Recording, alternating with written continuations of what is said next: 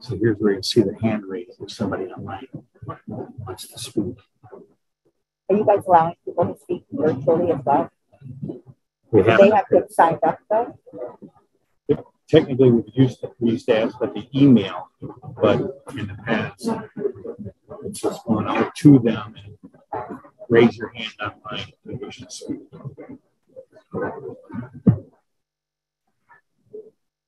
Everyone gets three minutes. You're not, are you cutting people off? I'm not unless I mean I might yeah, so you can say the same thing. Keep it short.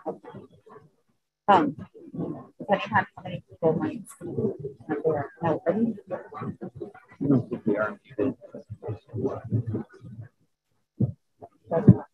Testing one, two. Okay, mic check. Please.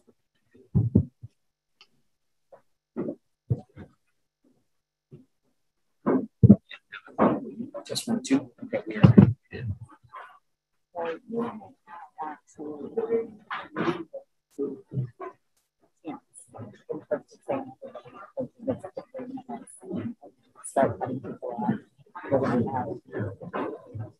mean, With all those people, there's a possibility of. Right. The vast majority are just tuning in. So this is pretty typical, for a high profile meeting. They're probably not going to speak. Okay. Yeah. So, and I might say something ahead of time, like if anyone online wants to say something, we're kind of long, we have a long list of public period. You know. Use, use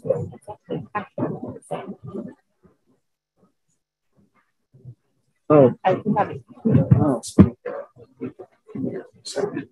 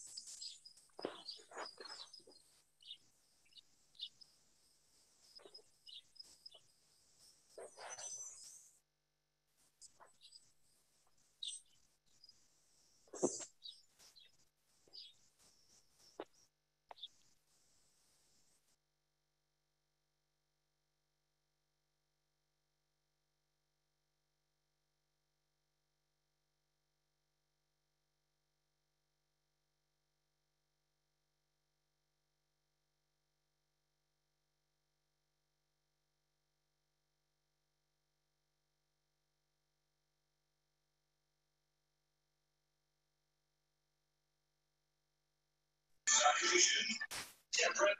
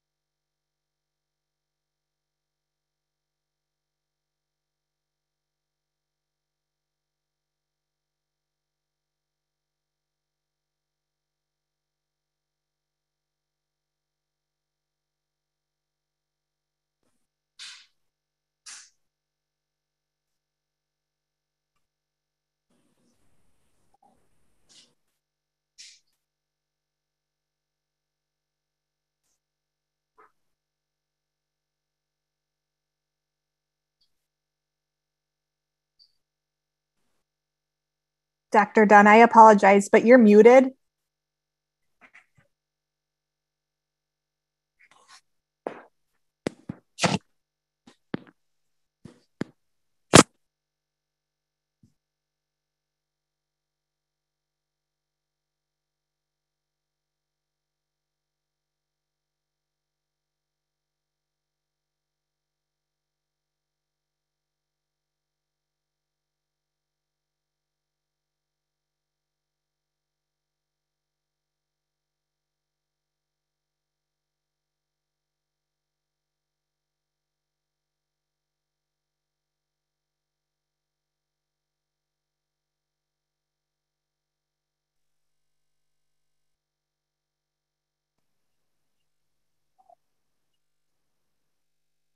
Various other emails that we, as an entire board, have received um, and, and had some conversations with folks. And as we move forward tonight, I just want to remind us, everyone, that our mission statement talks about being the heart of the community and educating students. So let's try and come through this vote and still be civil to one another. I just want to say thanks for all the emails we got. Um, I would say, like Gary said, Jody said most of them were good, um, positive feedback, um, laying out your case for what you believe. So we appreciate that. Um, I just hope that we can show the kids who are watching and are hear about this um, how you debate and argue the, the correct way, and we do it in a professional way. Yes, you can keep it at that table. Okay, we'll go to the next. We'll go ahead. Virginia. Okay, I also received uh, several emails, and I apologize for not responding uh, to all of them. Uh, I started out to really trying to respond all the way. Uh, the numbers just got too much. I just know I did receive it, and uh, we uh, appreciate all. But uh, many emails were very, very pleasant. Uh, some I have to say uh, were, were downright rude. Uh, I do hope that I continue uh, having positive communication. No, we all have common goals. I think these are kids' favorites. Uh, I also have one email that I to read. Yeah, you turn the mic towards your mouth a little bit. Yeah, bend it. Bend a little bit like okay. that. There you go. I do have one email also that I was asked to read, um, particularly from, from community, uh, from Matt Cole. I'm writing to encourage you to vote for masks and social distancing, at least for elementary students who will not be eligible for COVID vaccination when school starts this fall. Positive COVID tests have increased dramatically in the past month and are predicted to continue to do so through the month's of autumn. The variant is very contagious and typically makes the person sicker than earlier variants. The children deserve all the protection available to support their continued participation in learning. Please don't let us down. Thank you for your support in this matter. Sincerely, Pat Cole.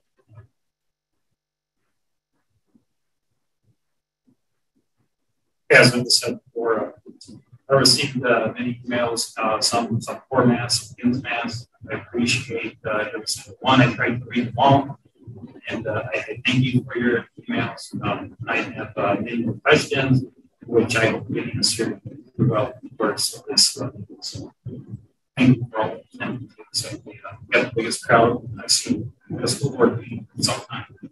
Thank you for that.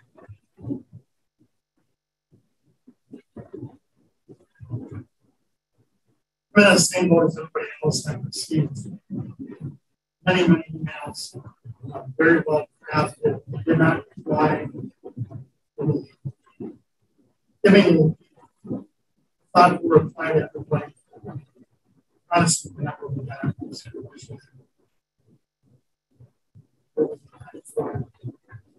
again, very many well-crafted emails from both sides, everybody. Let's provide where feel all sides. I think that that's something that I that appreciate that.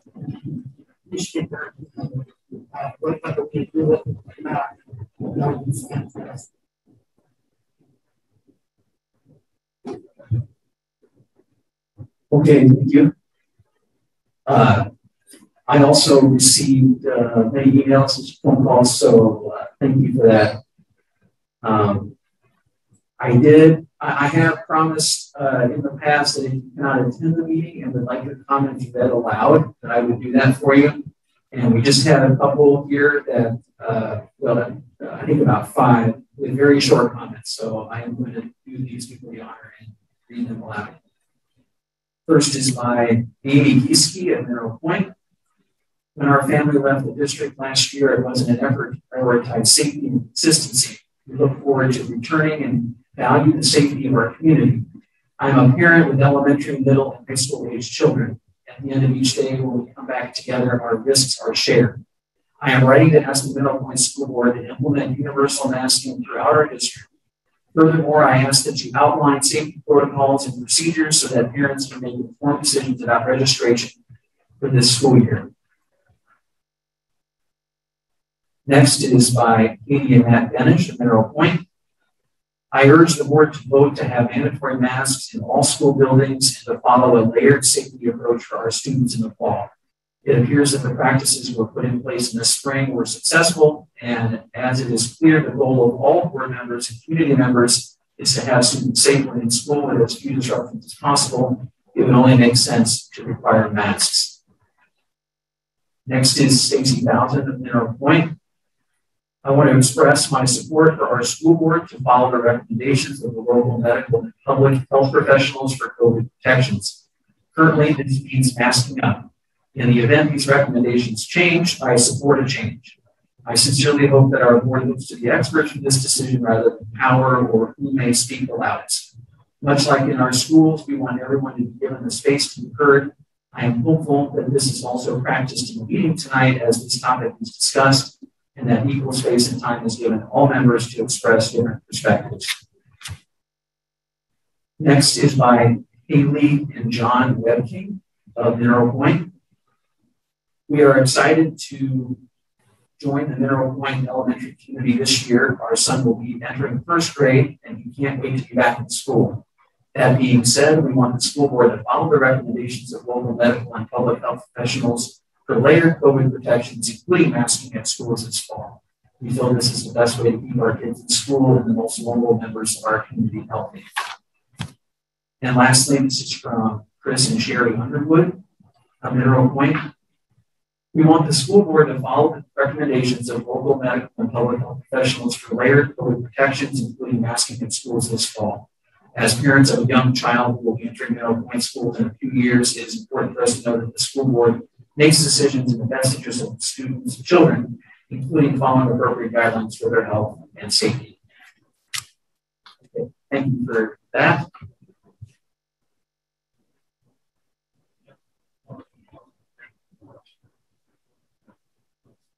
Yeah, thank you.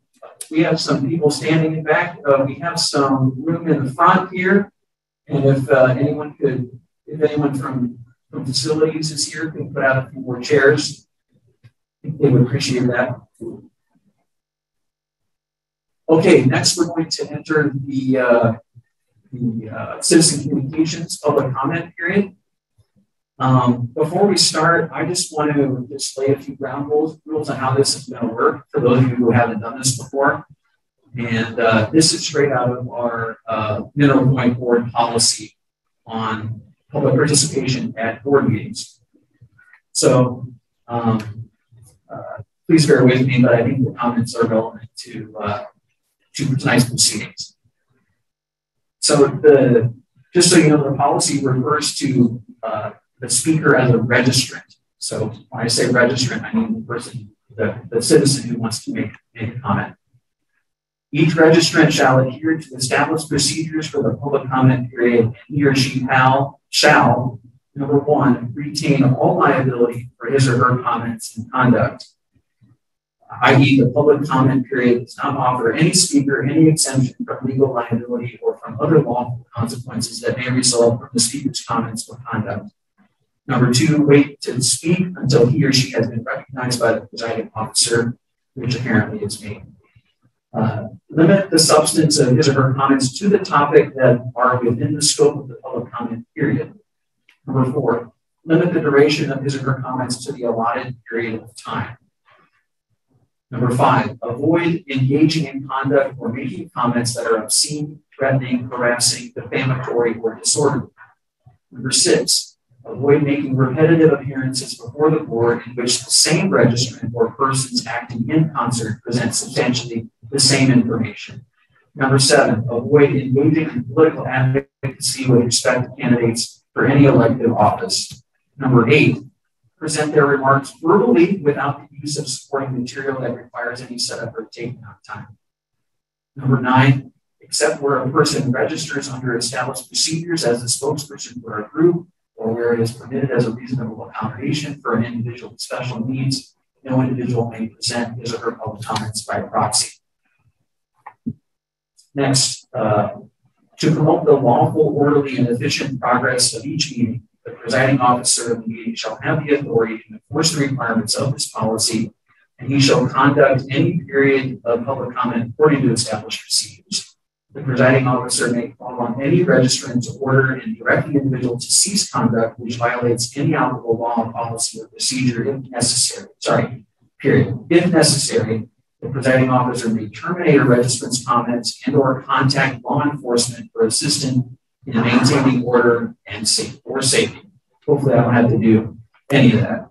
If the presiding officer directs a registrant to cease his or her remarks before his or her allotted time has expired, the registrant may immediately appeal the decision to the body, uh, the school board, for a final decision.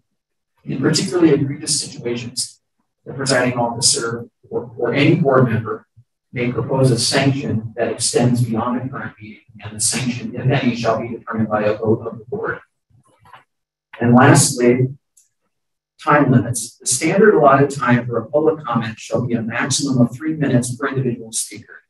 However, after the first 10 registrants have addressed the board, the board may designate by motion or by a showing of unanimous consent a maximum of two minutes per individual speaker where any registrant is acting as a designated spokesperson for a group of three or more named individuals who are also present at the meeting, the group spokesperson's otherwise allotted time will be extended by two minutes.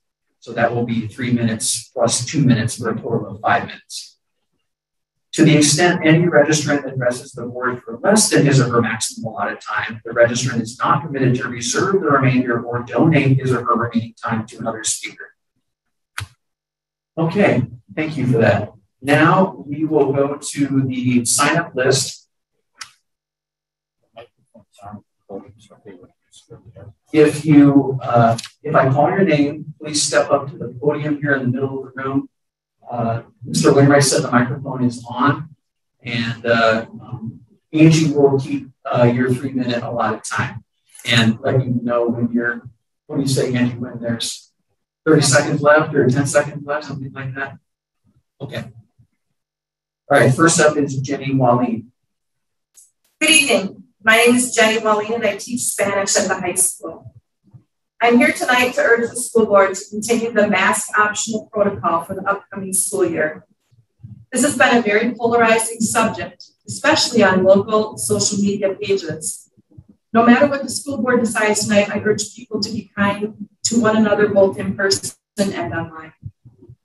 According to the CDC website, in the school year 2019 2020, 434 children died of influenza in the US. Last year, that number was 188.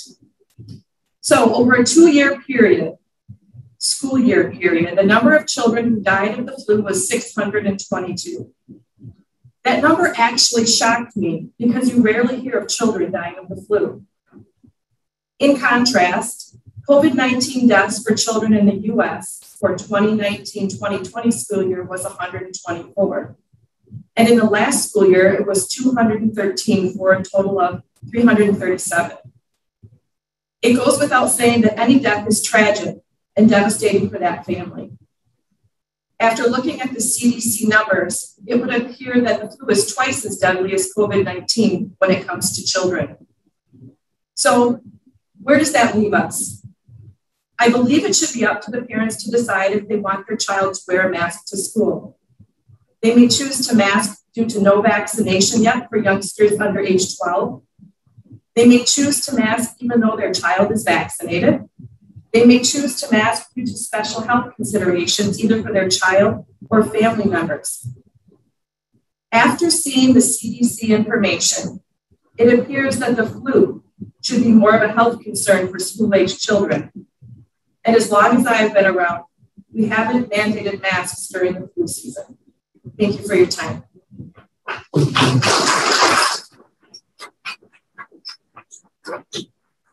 Next is Ingrid Bird. And I just want to remind the speakers to please state your name and your residence.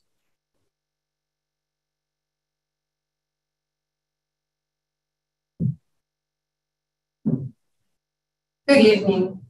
My name is Ingrid Bird. I live with my family in Mineral Point. I'm a parent of a high schooler, family physician, and work in Upland Hills as a hospital doctor. I've been taking care of COVID patients for more than one year and continue to do so. There are currently patients at Upland Hills today who are suffering and struggling with COVID. I have watched COVID 19 patients die from their disease. My colleagues and I have been wearing masks to protect ourselves and prevent the spread of, disease our entire careers. I've worn them when delivering babies in the operating room and during cold and flu season when patients test positive for virus, such as influenza. Human history has always been closely linked with infectious disease. During World War I, the influenza outbreak killed millions worldwide. Even in my own career, I have witnessed more than just this epidemic. In the fall of 2014, there was an outbreak of enterovirus, another respiratory virus, which impacted primarily children nationwide. At that time, I wore a mask to protect myself and others in taking care of these children in the hospital. We cannot always predict when these crises will occur, but we are neither helpless nor without choices. Please accept that this COVID 19 pandemic is real and that infectious disease has always been part of humanity's struggle. Please do not saddle our children with a legacy of regret, a lifetime wondering if their actions and behaviors might have led to the spread of illness, harm to others, and devastation to local families, including our teachers and other school employees. Our children are too young to shoulder this burden, and we cannot predict if our own children might become sick enough to require hospitalization. Please choose acceptance of this difficult time even if making any peace with it is challenging. Please gravitate toward compassion. Please embrace love. Please require our children to wear masks in schools. And please model that behavior yourself. Thank you.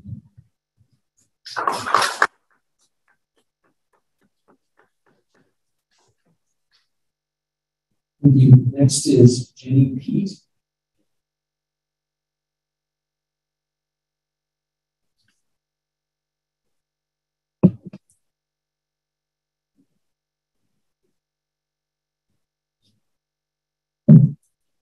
My name is Jenny Pete, and my husband and I reside in County Q in Midpoint School District. Earlier today, I shared an email with Matrices used by the Shullsburg, Belmont, Cuba City, and River Valley schools in regard to their COVID policies. They were pulled directly from school websites and sent to our board and administration today. It is a tiered approach with protocol changing as the positive cases with the students and our staff within our school change. I have made some copies of just one of them. They're all similar. And I do have somebody passing a few of them around if anyone is interested. This chart speaks to a whole gamut of precautions, not just masking. It covers physical distancing, cohorting, testing, vaccination, hand hygiene, cleaning, isolation, and quarantine. We can choose to adopt part or all of a system like this. Last year, we heard a lot about how we need to keep our kids safe and give them consistency. Some families have gone all summer without masks, and others have gone all summer masking up and it has since this all started last spring. And that's okay. However, I do feel it is confusing and scary for a kid that hasn't had to wear a mask since last May. Now, I do think that children will understand masking up when cases are high. And I also think it's important to point out that just because I'm asking for masking to potentially be part of this matrix that doesn't mean that I or anybody else may not choose to mask our children.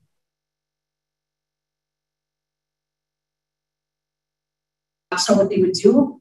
My six-year-old said, no, I don't want to. And my eight-year-old was up in the air. And I told her that's okay. I respect her decision and she needs to respect everybody else's as well. I think adopting an approach like I suggested would give people on both sides of this issue some type of a win. It's a compromise. It's a tiered approach.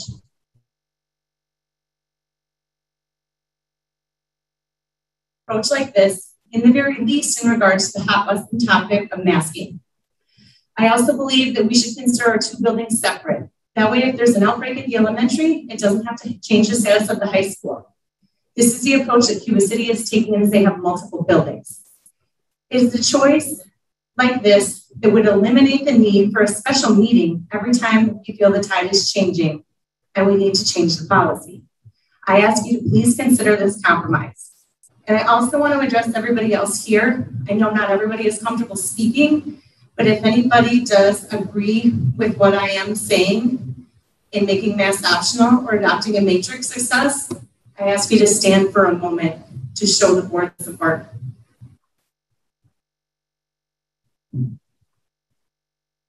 Thank you. Thank you, Jenny.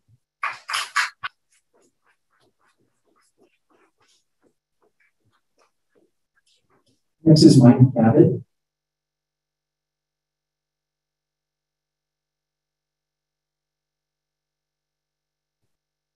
Uh, thank you. Uh, Mike Abbott for 320 Copper Street, Mineral Point. Uh, what I have here is an email that I wrote up this morning, but I didn't have time to get it out to the, to the board. So that's what, uh, what I'm going to be reading. Dear Mineral Point board members, and administration, I'm writing to ask you to keep our mask welcome policy in place. This plan allows parents to decide for their own families what is best for them. It gives us a choice in the way our kids receive their education. As a parent, coach, and husband to a teacher and coach at Mineral Point, I know firsthand how restrictive masks are in delivering instruction. Teachers and coaches have, have a much harder time delivering instructions last message, and kids have a much harder time receiving the information they are being given. For most kids, being able to see the teacher's mouth and facial expressions are just as important as being able to hear the teacher clearly. I know tonight there will be a vote on, on whether to universally mask everyone in the district buildings. I am asking that this be voted down and that we remain mask welcome or optional until staff, administration, parents, and the rest of the community are, allowed to evaluate what our numbers look like after we've had kids in buildings. I don't want to dwell on the past, but we need to learn from it. About this time last year, a hybrid model was approved for the start of the 2020 school uh, year. The goal of this plan was to keep our kids open, keep our schools open longer and kids in school than other districts in the area, and keep the kids.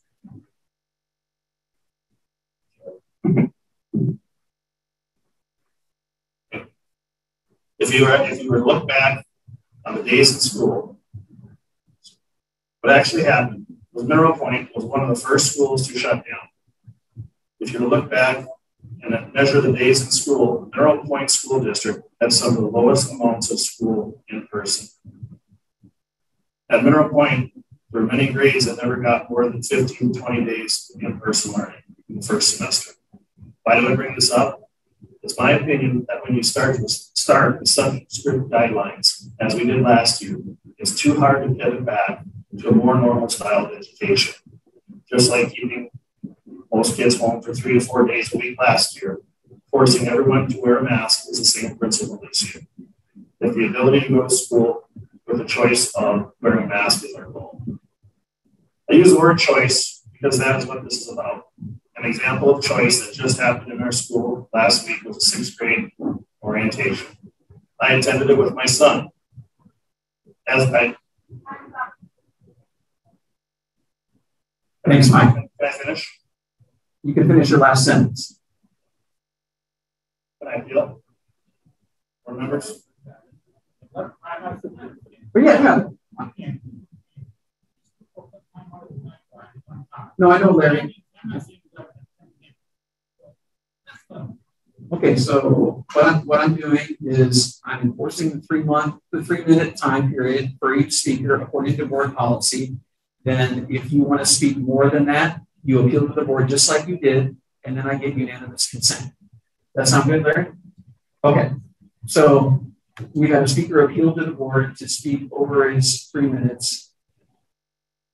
Can I get you unanimous consent from the board? That's fine. Okay. Okay, you, you want to set a limit on the time period?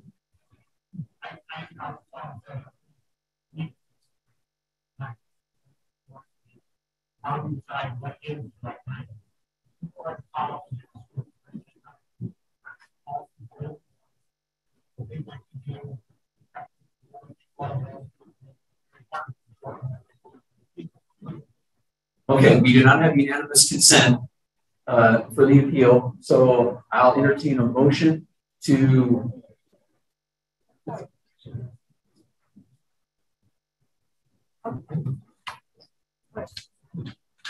So uh, I'll take a motion to uh, approve the appeal uh, for this person's time, and if you can set an amount of extra time you want to award the speaker, and then we can vote on it.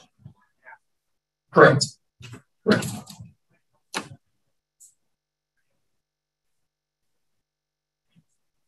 Okay. Motion from member Steppes to give the speaker 90 seconds to finish. Uh, do I have a second? Second from member Skelby. Okay, roll call, Angie.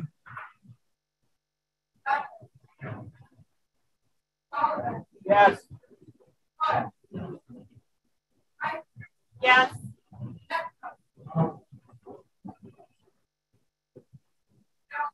Yes. Yes. Thank you. Okay, Thank you motion passes. Go ahead, 90 seconds, sir. Okay, here we go. Uh, as I walked in, I wondered how, uh, what we would see with masks into the gym. Uh, I didn't count, but uh, going into it, but then they brought the kids down.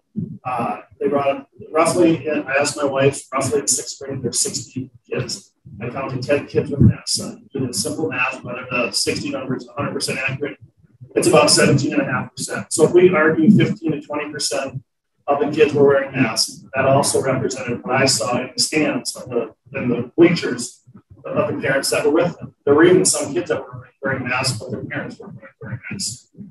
The whole thing with this is about choice, right? And, and, and doing what the majority wants. 15 to 20% of our population chose to wear masks that night. The other 80 to 85% chose not to wear masks that night. I think it's important that the elected board does what the majority wants the, of, people in school want them to do. That's what they were elected for. Thank you for your time and the extension. Thanks, Mike.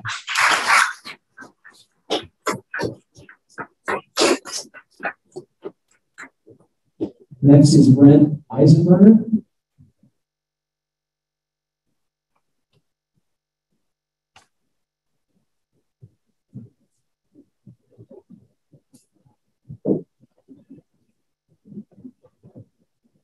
Good evening. My name is Brent Iceberg. Back when COVID started, the rallying cry was to follow the science. Somehow that must have changed, or perhaps only portions of science seem to matter.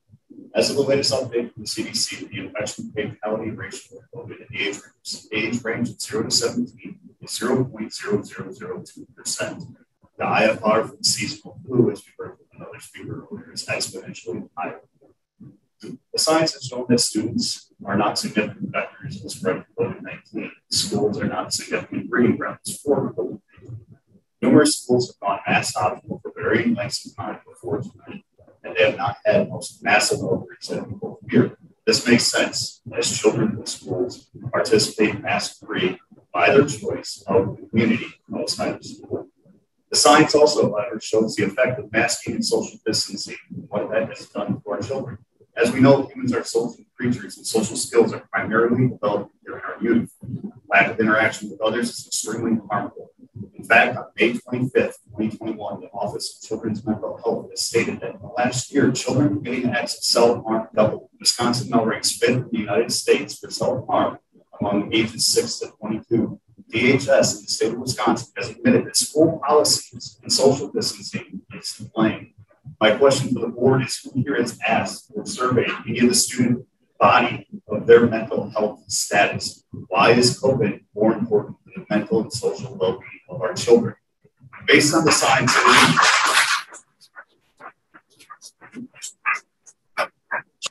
based on the science, it is in the best interest to maintain or improve masking options. As I'm sure some of you have heard right now, various members of the community have reached out to me as I'm an attorney that was a law firm to represent them.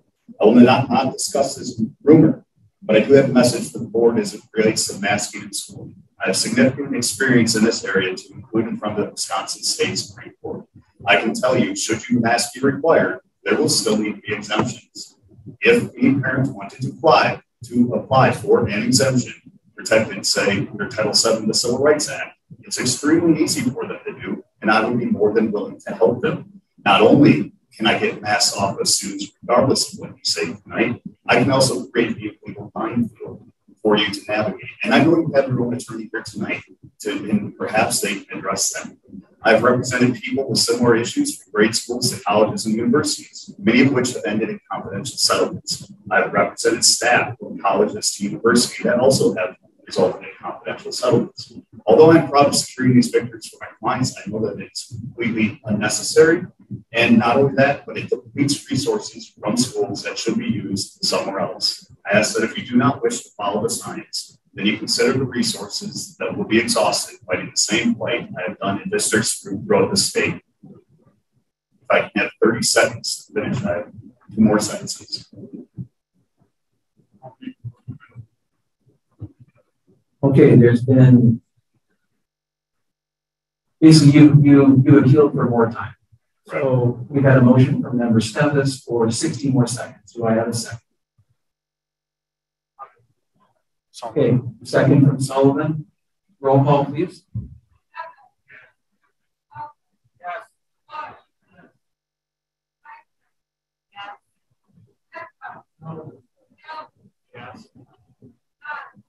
Yes. Can you please state your residence? Sure, Sun Prairie, Wisconsin. Okay, thank you. Finally, nobody here today is arguing to forcibly remove masks from individuals or mandate that masks are not allowed. If individuals want to wear masks, then they should be able to. If they don't want to wear masks, then they should be able to as well. I'm sure that you have talked with your attorney and know the authority of the board to create these policies. And that is never something I have challenged. However, I will challenge if there's a client going to, and I'm pretty confident there are, the ability or how to enforce this. And I know that I've talked mostly about masks, but quarantine, I asked your attorney to look into the Americans with Disability Act, how that protects confidential records. Because if we treat quarantine differently based on vaccination status, that is another legal minefield you all are walking into. Thank you.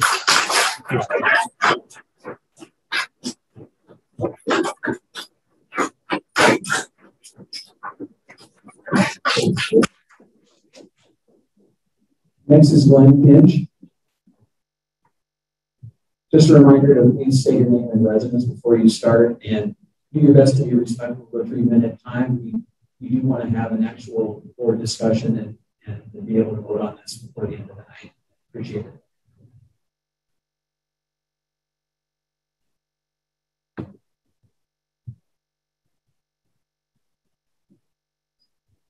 My name is Glenn A. Kinch. South Oak Park Road, North Point. I'd like to validate the information they've given on the regular flu and the COVID. Now, uh, I learned some time ago that uh, the little virus is 0.3 microns. It can crawl through your oil filter. I also looked up the CDC's tests on masks They've done a series of them from 1946 to 2018, and I wouldn't believe any of them have come out in the last two years. During that time, the conclusion of all those tests was that masks were of no use to prevent the virus. That's from the CDC. Now, as far as buildup of carbon dioxide behind the mask, the Germans had a large test. I think it was 26,000 people. And after a certain period of time with children, they found that the buildup of carbon dioxide was six and a half times what their allowed limit in a confined room was. The other point I'd like to make is I don't know how many of you realize what went on in Sweden when we were running and hiding in our rooms and uh, wearing our masks and whatever. They didn't do anything. They didn't have any problems with COVID epidemics in their schools. And actually, the teachers had a lower incidence of COVID 19 than the general populace. The whole problem is that we've been, been fed propaganda, and I have members of my own family that swallowed it. And uh, it's, it's pretty easy to be afraid, and I don't want to chastise anybody for, for if you want to wear a mask, that's fine. I don't want to wear one because I know that it's futile. And I'll, you wear yours and I'll not wear mine. Thank you. Thank you.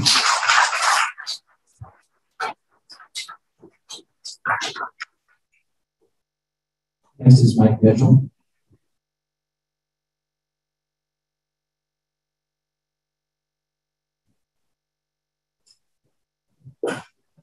Mike Mitchell, Mineral Point, used to be on the board. I'm glad I'm not on there now. I appreciate what you're doing. This is not an easy job. I'm up here as much for the children that are in school now as I am for the ones who went through and that I raised. Particularly one, my daughter Molly. She's a pediatric ICU nurse in Minneapolis. She's treating young children with COVID now. She's treating teenagers with COVID now. And the beds are becoming full. She knows what it is firsthand. I'm not a doctor. I sell floor covering, used to. People would come to me for information on floor covering. I'd tell them because that's what I do. I go to doctors, I go to people who do this for a living to tell us what is the best thing to do. We're just concerned as past school board members for the utmost safety of the children. And I'm here for the, the, the mask protocol on there just to be on the safe side. If I'm wrong, maybe nobody will get sick. If it goes the other way, maybe some people will get sick.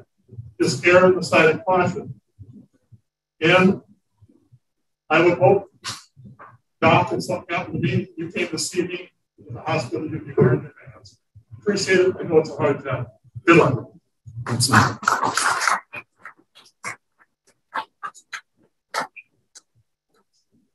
Next is Alan Schrain.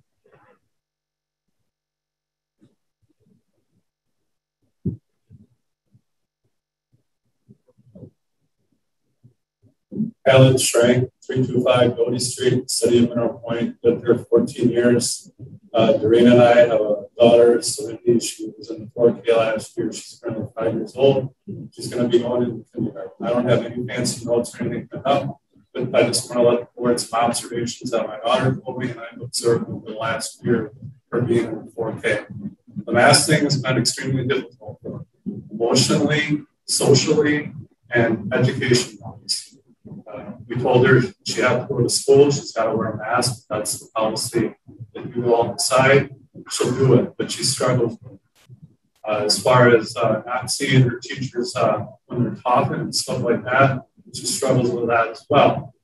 Uh, we asked her uh, since she's five years old, we feel that she can make a decision if she wants to wear a mask or not.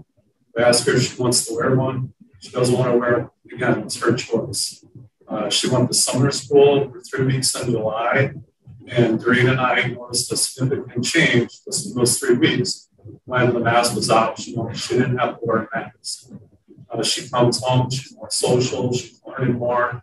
The interaction with uh, other kids in the neighborhood and such is much better. She can see their faces, she can interact with them, um, and so on. Uh, the other part of it is that uh, she wants to come to school, but we've also, Doreen and I have both uh, discussed the option of open home. There's other parents in the community that I've talked to, one parent in particular that has three kids. They're open enrolling from the district because they're going to a private school where it's their choice. They can choose to wear a mask if they want to. If they don't want to have to wear a mask, they don't have to. Now, this afternoon, I spoke to a school board. I said, it's my understanding this is a public school that kids go to. And uh, it's my understanding that we get funding from the state. And if they aren't coming to the school, the school's going to lose funding. Well, how do we make that up? Are the taxpayers to pay for that? Or who's going to pay for that if you don't have enrollment in your school? Because there's uh, kids that are leaving that are wearing masks. Um, I don't have anything else other than that. We're considering taking our daughter and uh, taking her to another school, open enrolling, where she doesn't have to wear a mask because after all, it's their choice. I appreciate all you guys on the school board for everything you're doing. Uh, that's it. Thank you. Thank you, Alan.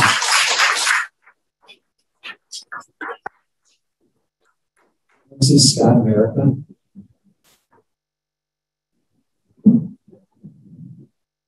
Scott, read the state rule, uh, state rule 23 Dodgeville. I wish I had a good icebreaker for this, but I don't. Esteemed board members, it is our job as parents to demand a better world for our children, lead by example, by being engaged and informed citizens. It is, alarming, it is alarming to see how divided our, our community has become. And regardless of your social lens, it is increasingly important to be willing to have dialogues that ultimately lead to the realization that we have an amazing community. Here in rural Wisconsin, we are blessed with beautiful countryside and good neighbors, but that by no means correlates to being immune to the spread of the pandemic. We seem to have a small sense of security here in the countryside. This is not an urban versus rural issue. When a storm hits, it doesn't care if it ruins farm fields or condominiums. This, this pandemic is no different. I am not pro-mask, but I am pro-community. And the only proven method to slow the transmission of this virus and safeguard our community is universal masking. We need to put our faith into our medical professionals and data. We are all tired of COVID-19, and the only pathway to normalcy is through hearing is, is, is hearing, excuse me, is through adhering to these guidelines. As a dairy farmer, my team and I take great pride in keeping our country fed during these troubling times. Now it's time for all of us to take great pride in our community and do our civic duty of stopping this virus. The longer we squabble over the validity, validity of science-based evidence, we're only prolonging the effects of this virus. Maybe COVID-19 hasn't affected you or your loved ones, and I pray it never does. If we don't all unite, it is us who will ultimately pay the price. Our healthcare professionals are integral parts of our community. They are on our school boards, they volunteer our free clinic, and above all, our friends and neighbors. This pandemic needs to be addressed by our healthcare, our, excuse me, our healthcare experts, and we all have the civic responsibility to heed their guidance because they are not politicians trying to win a popularity contest, but the people we depend on to keep us and our loved ones safe. The partisan lines over how to handle this pandemic will be remembered by history as a tremendous blunder. I urge each of us to do our part so we can return to life as normal sooner rather than later. Thank you for your service, board members.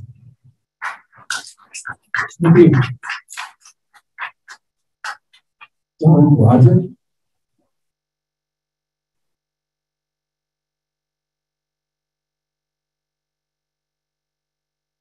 Today, my name is John Broderick. I'm the parent of Eagle, Virginia, in high school working on Fairfield.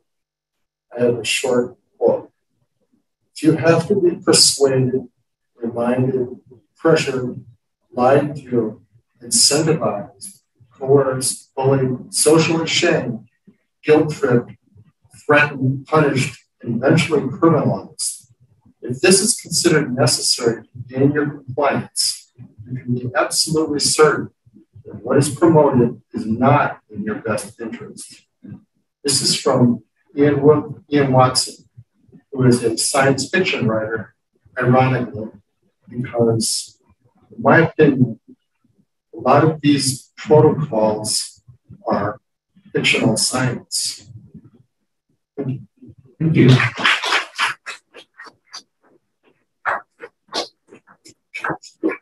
Okay, to the board, we've now reached a uh, the, the predetermined maximum of 10 speakers.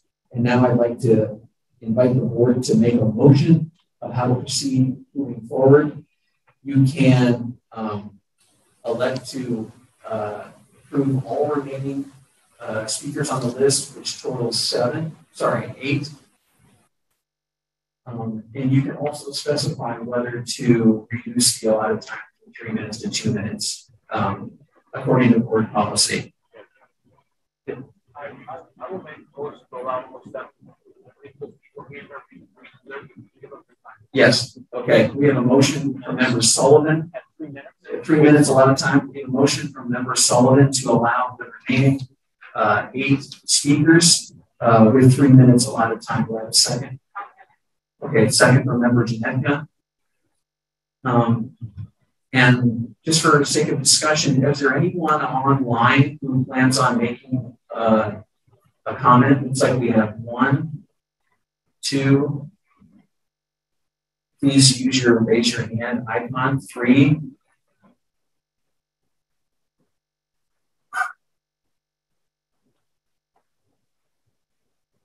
Again, if you'd like to speak from on from virtually, please raise your hand with the raise your hand icon.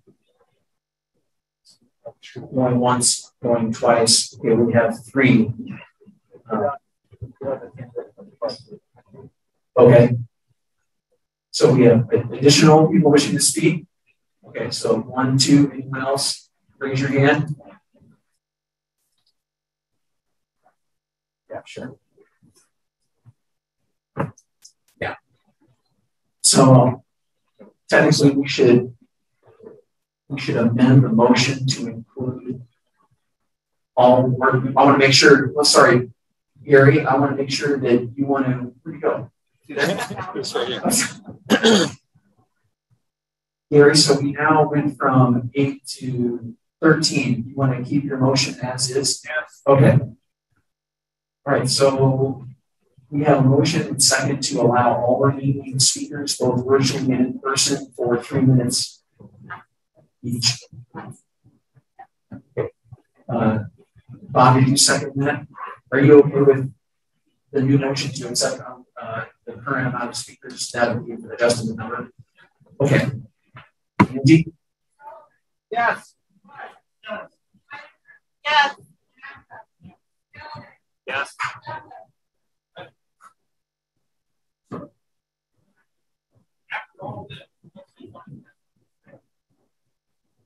With board approval. With board approval.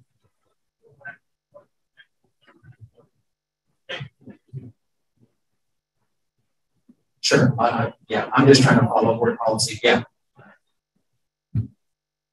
I'm just following the board's direction on how long you want the public period to proceed. Yes. Okay, motion passes. Thank you for your patience on that. Um, next up is Teresa Osborne. Forgive me if I am mispronouncing anybody's name.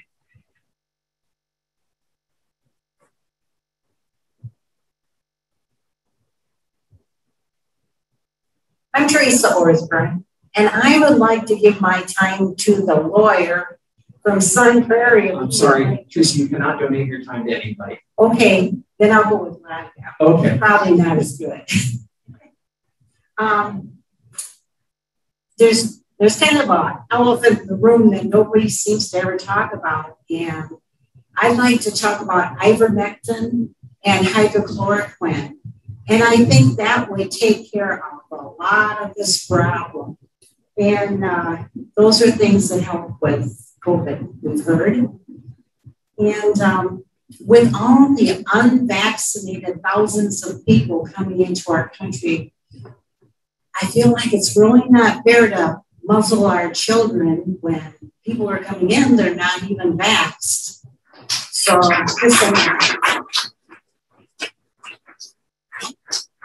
Thank you. Next is Claire Pilardo.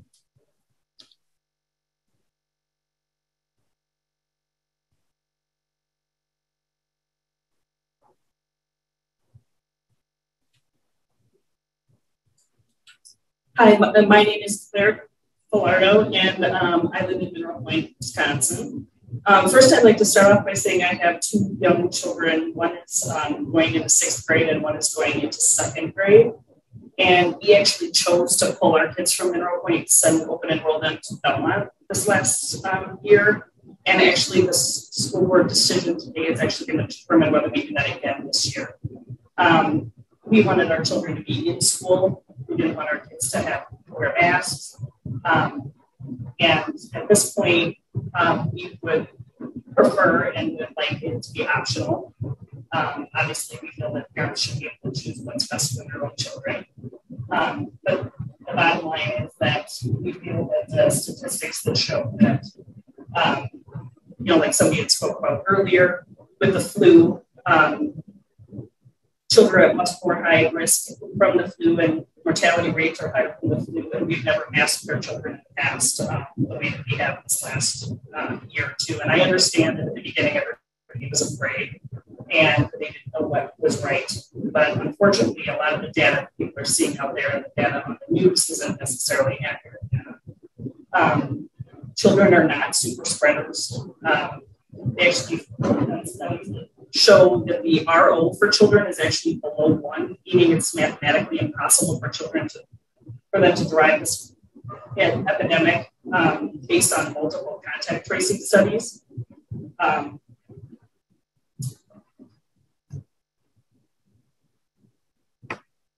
in the UK, actually, where Delta um, has come and gone, hospitalization rates were 50% lower with Delta. So it shows that there's not necessarily an increase um, in hospitalizations or issues with Delta variant. Um, children, nobody's talking about the fact that these masks are filthy and that they have they carry bacteria. Um, dentists are complaining about issues with children's teeth. Um, There's illnesses that are occurring with the masks. The um, studies in Germany have shown that there's numerous bacteria and um, including meningitis on these masks that um, children are wearing just for a six hour period during the day. It's not something that's filthy masks every day. It's literally something that was brand new and just worn for six hours. Um, people are not addressing that as well. Um, I just feel that um, as a whole, as a parent, you should be given the option to do what is best for you and for your children. And that's not telling people they can't wear masks if they're uncomfortable with that, but we should all, as parents, be given the option to do what's best for our own children. Thank you. Thank you.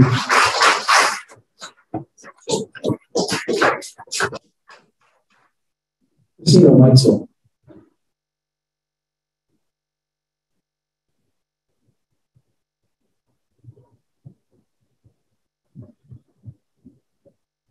Hello, Christina Whitesell, 12 Penn State Road 23. I have three young kids in the school district, nine, seven, and five. And in my opinion, masks dehumanize people. There's already a major issue with bullying, and I think having masks is only going to intensify that. When a child cannot see physically that they hurt somebody, is going to become easier to make fun of that person picking on others. You naturally see that effect with your face half covered. So much human emotion and learning comes through facial expressions and the shapes that your lips make.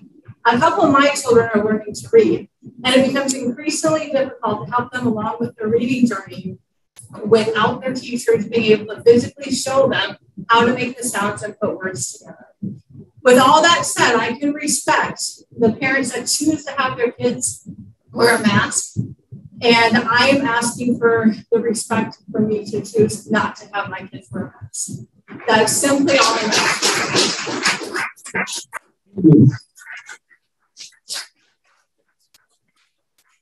This is Bob May.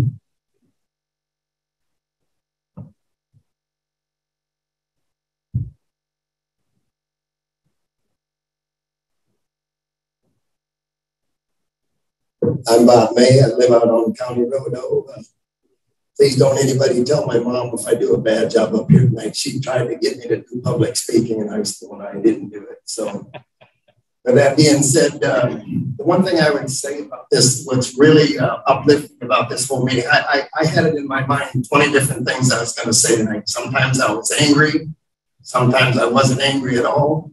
Um, I'd like to thank the board for allowing us to talk. First, you do work for us. I mean, that is kind of your job. But I say that in respect, but I do appreciate the job you're letting us talk tonight. Uh, but I go back again to what I said about the respect. I've heard three or four people speak here tonight that don't agree anything what I said or what I believe. Everybody clapped for them. There was no jeering. There was nothing. And, uh, you know, I've been informed a little earlier today that Bill was asked to be here that's a little bit insulting to me that that we as community members here, that somebody thinks that we're going to uplift this place because maybe somebody doesn't listen to us. So I'm a little bit insulted by that. With that being said, I got a couple of questions. You don't have to answer now, but I do want them answered. And I don't want you, Dr. Dunn, to think it's a personal attack on you, but you are a doctor. Um, I want to know why we, and, and, Dr. Fox, I attended a I attended a school board meeting here a couple of times ago. I never heard the word hyper hypercapnia. I never heard the word depression. And God help us, I never heard anything about the word suicide. I never heard anything promoting people to take D3 and zinc. You can go to Walmart get it. I bought some today to build the immune system of these kids. Instead, we were vax them up and, and mask them up. My biggest inspiration, Dr. Fox, came from you in the last school board meeting. And here's what God said. Uh, Terry, the bus driver, I don't know your last name, I apologize. She spoke at a school board meeting and she said what really goes on on the bus before these kids go to school. Dr. Fox, and, she, and I say this in all due respect, but you did inspire me by something you said, and I think you all ought to listen to this. So I brought up, I brought, Terry brought up what goes on on the bus with these unmasked kids before they ever get to school. Now I know there's good window dressing when they get here. We all throw them masks up. Everybody can see them with the mask on. She wanted to tell what goes on on the bus, but she was kind of shut down, quite honestly. Okay. When I got to speak, I brought up the point that the CDC reported that through the vaccine, and I know you're thinking we're not talking about vaccines, hear me out. So I said that there was at least a thousand cases of young men and adolescents that suffered from extreme heart inflammation due to the shot. Dr. Fox, if I'm correct, you verified that, correct? And, and, those numbers may not be exact. I'm not trying to put uh, uh, just, just finish your comment. Just finish your comment. I am finishing. We're not going to have a back and forth. Okay. At any rate, well, she can verify. She gave me the inspiration. We'll verify it later in the her thoughts, her thought was that she said that she thought it was worth the risk to vaccinate her kids uh, up against all the people that had been vaccinated. And I don't disagree with her. I respect her opinion. But I think that needs to carry the other way No, I think you need to respect the parents that don't want to go that route and don't want their kids masked. Thank you.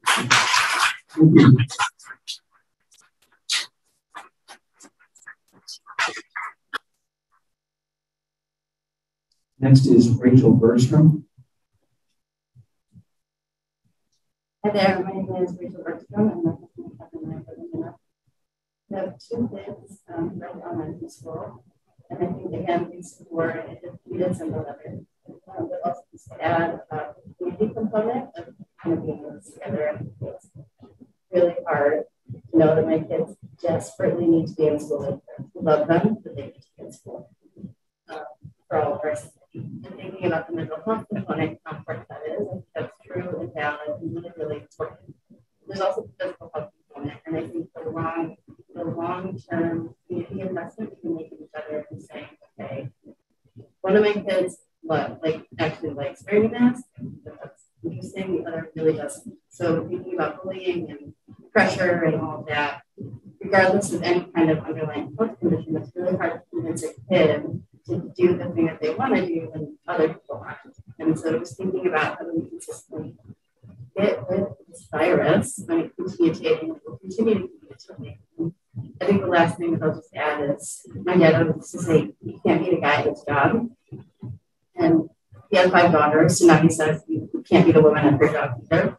Um, but thinking about how do we pay attention to the scientists? Not like I'm not an armchair scientist I can read all sorts of statistics and I think I'm pretty smart and well educated, but I'm not a doctor and I'm not a medical professional. It's just pay attention to all the guidance that's out there, even our own county guidance. They're not, you know, it's not people running for elections, actual people who know their craft.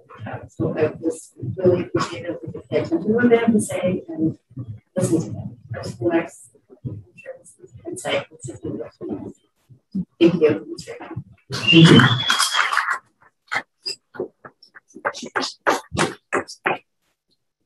Next is Bill Pete. I'm sorry, I can't read your handwriting, your last name. You just uh, state your full name of the residence. Appreciate your time. Bill Jimenez. Thank you, sir. I'm a recent uh, addition to the community here in July with my family. I'm going to talk to you today as a concerned grandfather of a child who will be entering first grade about one of the issues I feel is important for you to have in order to make an informed decision concerning this generation's future. First, I need to give you a little background about me. 50 years ago, I served in the military as a security information analyst and afterwards was the government account manager for the largest scientific, technical, and medical publisher in the world. As part of my training, I was taught to critically examine information to find laws, flaws, or incorrect data, which might be contained within that material. The material I am giving you tonight is not my opinion. It's what I have discovered and going through thousands of scientific peer-reviewed materials and viewing videos from credentialed, credible authorities whose findings I have no reason to question or doubt. Two articles highlight the reasons I come to the conclusions I wish to share with you, as they both rely upon actual scientific evidence as opposed to politically motivated assumptions. Go to again. No problem. Sorry about that. Everyone at home, please uh, do your Peter. Thank you. As opposed to politically motivated assumptions lacking any real medical or scientific evidence. When one is evaluating information, usual practice is to use the most reliable method available. Two of the most common of these methods are trials, which fall into two categories observational trials or randomized controlled trials or RCTs. The latter group employs comparison of variables with the control group to verify the conclusion reached. It's evident from reading the CDC's online website that public health and other officials rely heavily upon only observational trials. The glaring flaw with observational trials is the lack of any control group for comparison, which results in a flawed conclusion unprovable upon investigation. Assumptions over factual evidence. Since COVID, basically for the last 18 months, studies were used as justification by the CDC, which had extremely small or isolated examples of subjects not a wide range of participants one might normally expect to see in such trials. In fact, the CDC has attacked one larger study conducted in Denmark as too small, almost 5,000 participants, which, fun fact, is almost 50 times larger than the participants which they are basing their product recommendations. The Denmark study. Bill, you've reached your allotted three minutes. Would you like to appeal for more time? Right, do you know how much time it's going to take to read what you have? Uh, less than two. Okay. Okay, we've got a motion from member Stephens to allow the speaker to have two more minutes. Can I have a second? Okay, second from member Skelding. Roll, roll call for Angie, or from Angie, please. Yes. Yes. Yes. Yes, on this one. Yes. Yes. Okay. Two minutes, Bill. Thank you. Okay, the Denmark study concluded that there was only a 0.3% difference between the infection rate in the control group and the mask group, making the difference statistically insignificant. Yesterday, I received an email from another renowned doctor, also citing these two same studies. One thing I would like to point out is that the, doctor, the original doctor, this is sort of a practitioner in uh, New Mexico, he self-described as an evidence-based researcher. And what he said was one thing that David White from the two hairstylists and 124 preaching households and a self-reported outbreak on board the USS Theodore Roosevelt from 382 Navy people while they were at sea. That's the kind of information the CDC wants you to rely upon for their recommendations about masking.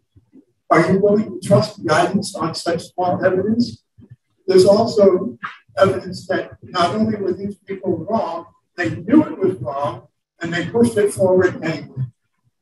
In addition to the function debate and mask wearing, there's a multitude of other educators warning the risks of development and sociological issues connected to mask wearing.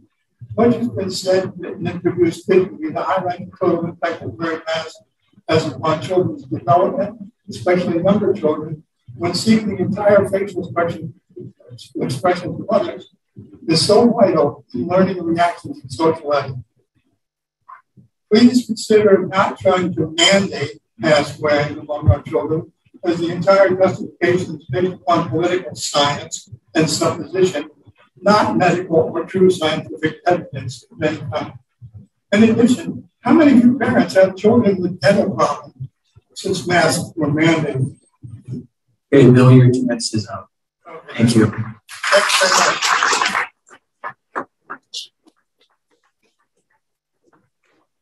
This is Dennis McKernan. Uh, Dennis McKernan, uh, Mineral Point. I'm a Mineral Point graduate back in 1964. And I've seen a lot of things go on in Mineral Point, but I have never seen science and political beliefs divide a community like it's done. It's totally ridiculous what's going on here. You have all kinds of evidence, all kinds of medical advice. You have all kinds of examples to look at. If you want to look at what's going on with the COVID virus, in particular the Delta version, look to the South. Look to the states in the South.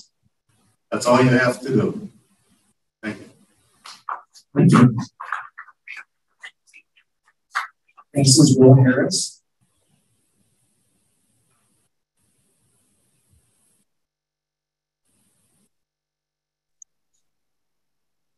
Good evening, everybody.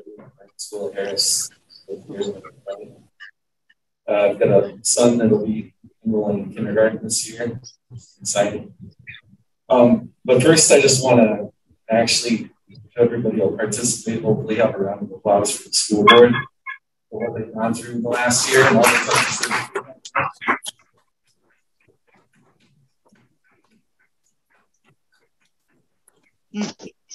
Even though they might not uh, believe it, I've learned a lot from each of the Washington meetings about uh, how to represent the community, how to represent different beliefs.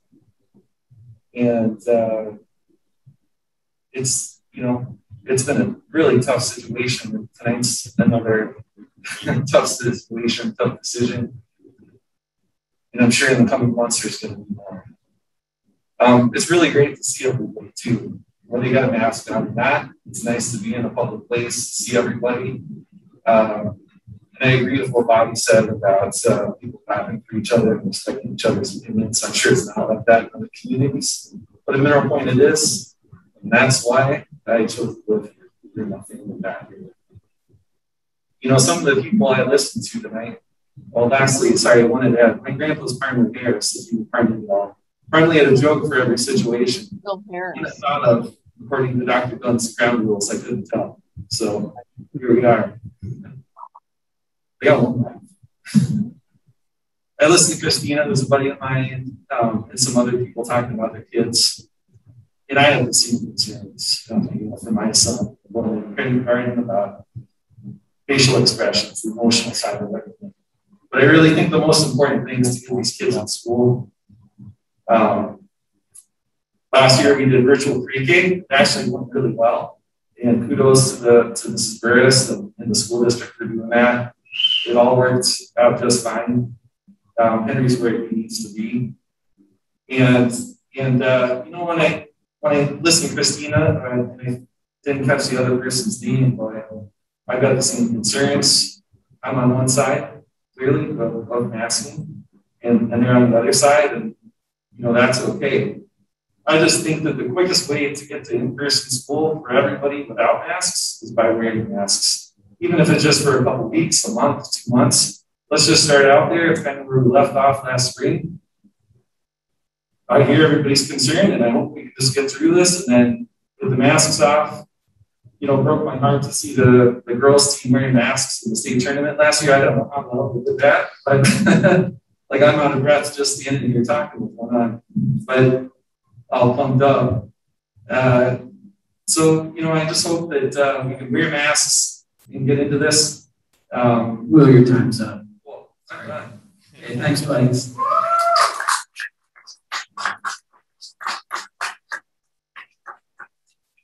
This is Emma Steffes.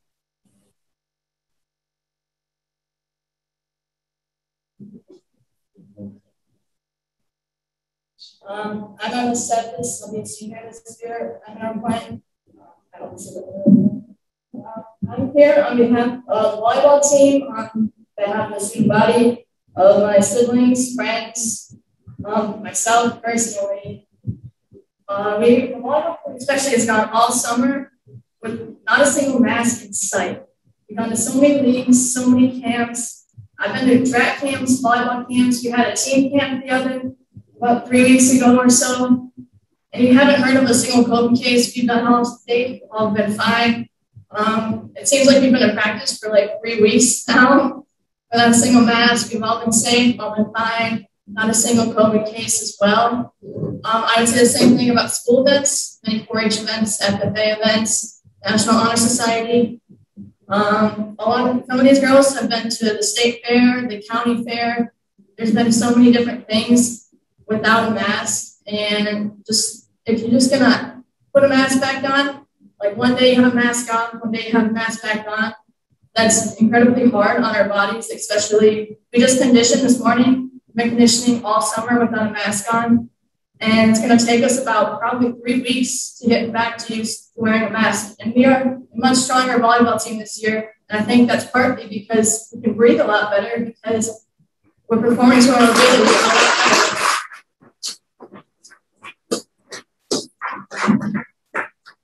Um, so obviously I'm in support of mask optional. You know, the parents, if their kid has the flu, if their kid falls off the monkey bars, some, if not most of them, aren't going to take them to medical professionals right away. So why should the medical professionals decide what the parents want for their kids for basically like 10 years of their life? Like it's their school year and the parents should decide at this young age if they are, and some of us are old enough, like all of us are old enough, high school is old enough, middle school is old enough. I'd say half the elementary school, if not all the elementary school, is old enough to decide if they want to wear a mask. I want to close with a statement that if I'm old enough to decide if I want to use the boys or girls bathroom, I'm old enough to decide if I put a mask on my face,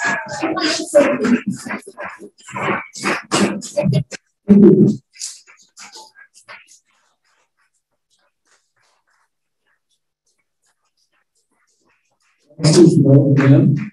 Mo Prim. And then we'll have three that want to speak from the from the virtual online participation. I'm tired. I'm tired of pro-mask, anti-vaxxers, or sorry, I'm tired of pro-vax, pro-maskers calling others selfish. I'm tired of anti-maskers, anti-vaxxers calling others scared, mindless followers. I'm tired of Facebook exchanges where adults behave like we did in junior high.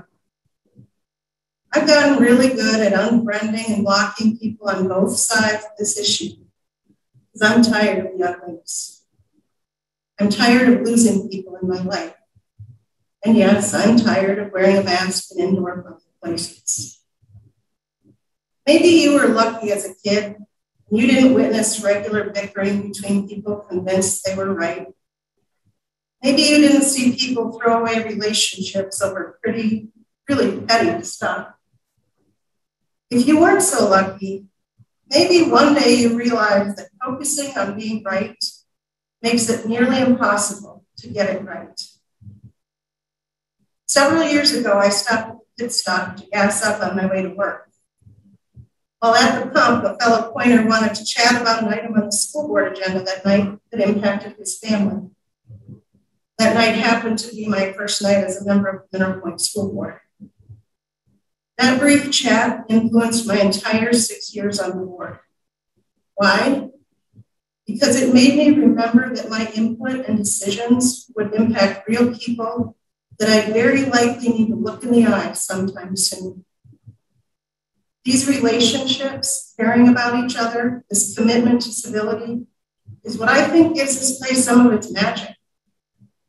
If you're here tonight, I believe you care about our kids, regardless of your opinions on COVID and masks. The one thing, perhaps the only thing I suspect all of us in this room agree on, is that we do not want to put our kids through virtual learning again this year. Some schools have already gone back in session. Some are requiring masks, some are not. A number of those not requiring masks are already finding it necessary to resort to virtual learning.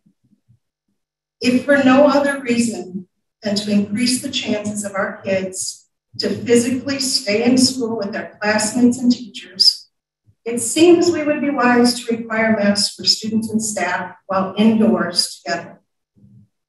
Let's rise above the ugliness and name calling and assumptions and show our kids how to do our best to get this right. Thank you. Thank you.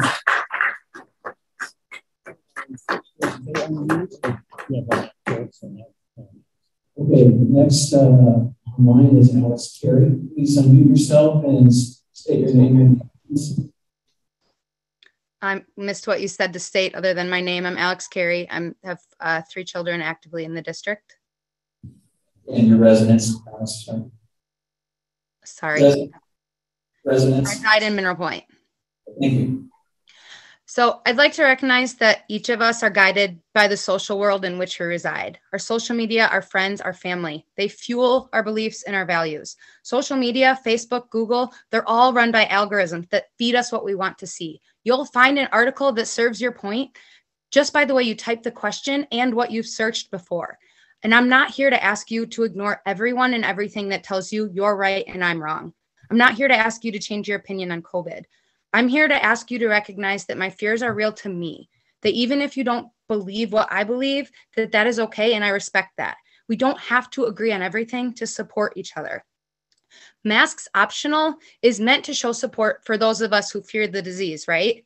But those of us wearing masks have been told that yes, wearing a mask protects us a little bit, but the person with COVID wearing a mask too protects us a whole lot more. So sending our kid with masks to a room full of kids without from families who don't fear COVID as much and take greater risks does not feel safe and does not make me feel supported. I'm not advising you what to do outside of school, masks or no masks, if you choose to vaccinate or not. Those aren't my decisions to make. I ask that you choose to support me and those like minded by sending your kids to school in masks. I'm comfortable letting sports be mask optional because we can choose whether our kids participate. That is a choice. I stress the what if we're wrong approach. If we ask everyone to mask and later find out that we were wrong and that masks didn't work, what are we out? If we don't mask and find out we were wrong, we might suffer really grave consequences. If you can't wear a mask because of health problems, I respect that. I'd love to see those of you wear a sticker that says, I'm at risk wearing a mask, but thank you for protecting me by wearing one. You are the reason I wear a mask. Dental issues, that's new to me, and I'd like to look into that. Dirty masks, let's chat ways to offer kids free masks in school. I know I'd happily donate some. There are so many ways around these concerns, and we can find alternative solutions together, supporting each other. The seven of you board members and the team that supports you, you've been given a weight that you shouldn't have to bear. Enemies you should not have to create. It doesn't have to ride on you. Why can't we be the community that sets the example and takes the decision off the shoulders of those of you willing to take the heat in those seats? Why can't we put the decisions in the hands of intelligent groups of people who do the research for a living, who know the history, know the risks, test the risks? Why can't we just decide if the CDC says it's safer to wear masks, we wear masks? If they say we don't have to, we don't have to. No more arguing, no more guessing, no more I'm right and you're wrong, and wedges between friends. It just is what it is, based on a team dedicated to the safety of all of us. Thank you.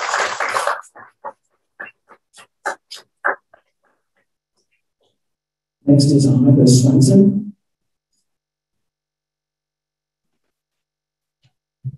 Hello, members of the board.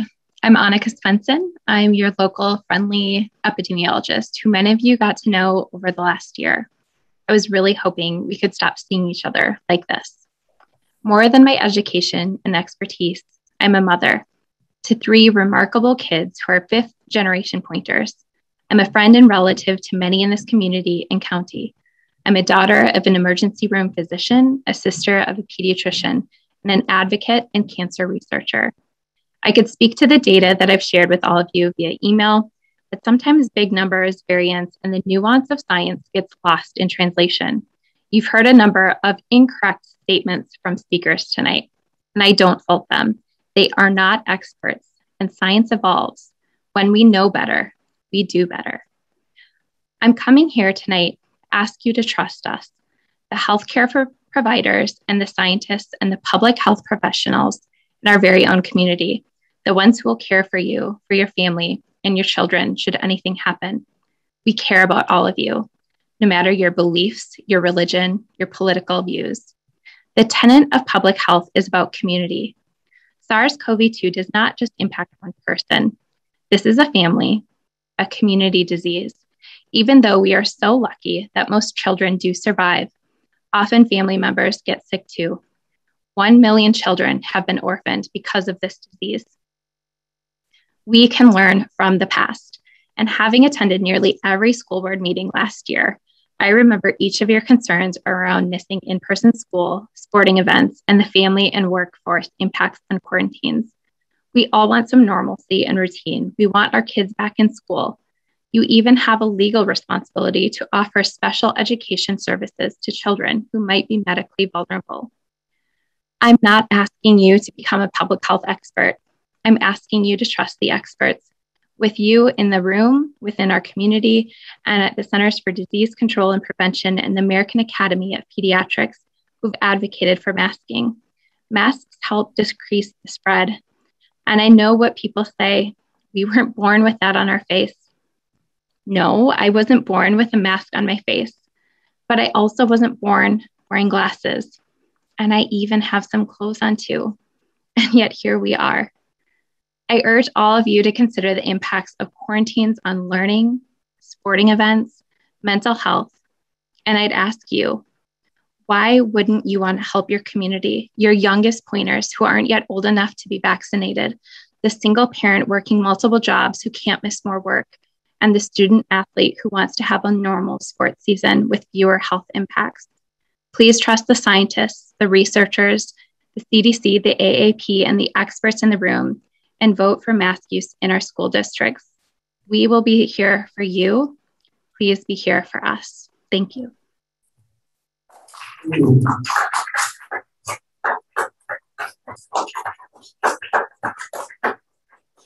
Okay, the last speaker is Etienne White.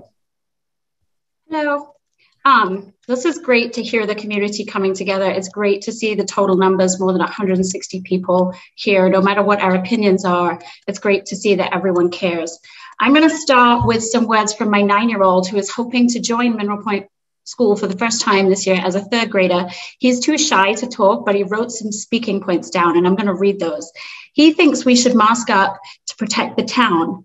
He thinks we should mask up because there's less risk of sickness you protect yourself and others, you prevent another mutation, and you get to stop germs of COVID 19 spreading. He also said, while there was discourse this evening, because he's been listening to every word, he's been sat here right with me, um, that the emotional piece that children might lose from children wearing masks, he says that'll just make children smarter because we'll have to figure out new ways to decode what people are saying. So those are his points. I also, you can probably tell from my accent, I'm not a third generation pointer. I am actually from London, England, and my passport allows me to live in tons of different countries. And the country I choose to live in is the US. And the place in the US I choose to live in is Mineral Point. There really is no other place on the planet quite like this place. What I do want to say, though, is to address some of the comments that other people have had this evening about statistics from Europe. I have family in the UK and I have family in Sweden. I actually lost my uncle in Sweden during COVID. I had to attend his funeral at 3 a.m. US time by Zoom. Um, so let's start with the UK though. Currently, Delta in the UK is ravaging the UK and the hospitals are maxing out. 34.9% of people that are hospitalized right now with Delta in UK hospitals are double vaccinated. Um, so there is the breakthrough. And someone said earlier that the Delta is not resulting in people being hospitalized in the UK. 34.9% of people that are in uh, with Delta are double vaccinated. Um, Sweden, someone talked about Sweden earlier, not masking. You're right, they did not mask and they did not lock down. And time.com, you can look it up. There's a there's a headline there from earlier this year that says the Swedish COVID-19 response is a disaster. And the politicians there have been told they have blood on their hands because of the death rates and fatalities that they had in Sweden. I will add, though, that Sweden is a country very unlike this country in its culture. It has a culture of social responsibility to one another. The way that represents in day to day living is they have free medical, they have free college, they have free on the job training. Uh, so I can only imagine if we had been, given how individualistic we are as a country here, if we had not had the mask mandates and the various lockdowns that we had, what our fatality rates would have looked like. I'm going fast because I have so much I want to say. I'm sure I'm going to get cut off at some point. Um, children wearing masks, they are not just protecting children, they are protecting our elderly. And also, no one's mentioned it yet, but there are others who are yeah. immunocompromised in our community. Am I at time?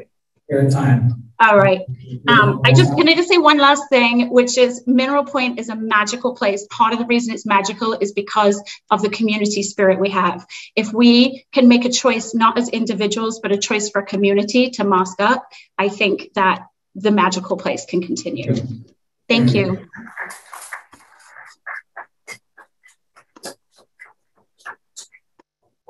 Okay, that ends the public comment period. I just want to say thank you for being here. Thank you for participating. Thank you for treating everyone with respect and being good listeners. And uh, I'm just very proud to be sitting here um, um, leading this meeting. So thank you. Uh, thank you very much. And thank you for being patient with me reviewing the policy rules and all that. I'm kind of a rookie um, when it comes to being board president. So I appreciate your patience. Okay. Next, we will go to items for information and discussion. Do we want to address anything at this time? We'll go into action items and talk about everything. Okay. So um, I'm going to turn it over to Mr. Wainwright and have him introduce uh, what we're going to talk about uh, next, and anyone else is going to present any data or information. You have in your you have in your board packet uh, the mask and face covering policy that was repealed back in the spring of the year. Uh, it was suggested that we bring that back to the board agenda. Um, you also have an action item about adopting the WIAA fall sports guidelines. Um, there are certain discussions that we have been involved in. The admin team has met with our medical advisor, our school nurse, we talked about what is our number one priority. Uh, it has been mentioned multiple times here tonight, and I would say the administration strongly, strongly supports keeping students in the buildings five days a week, all year long.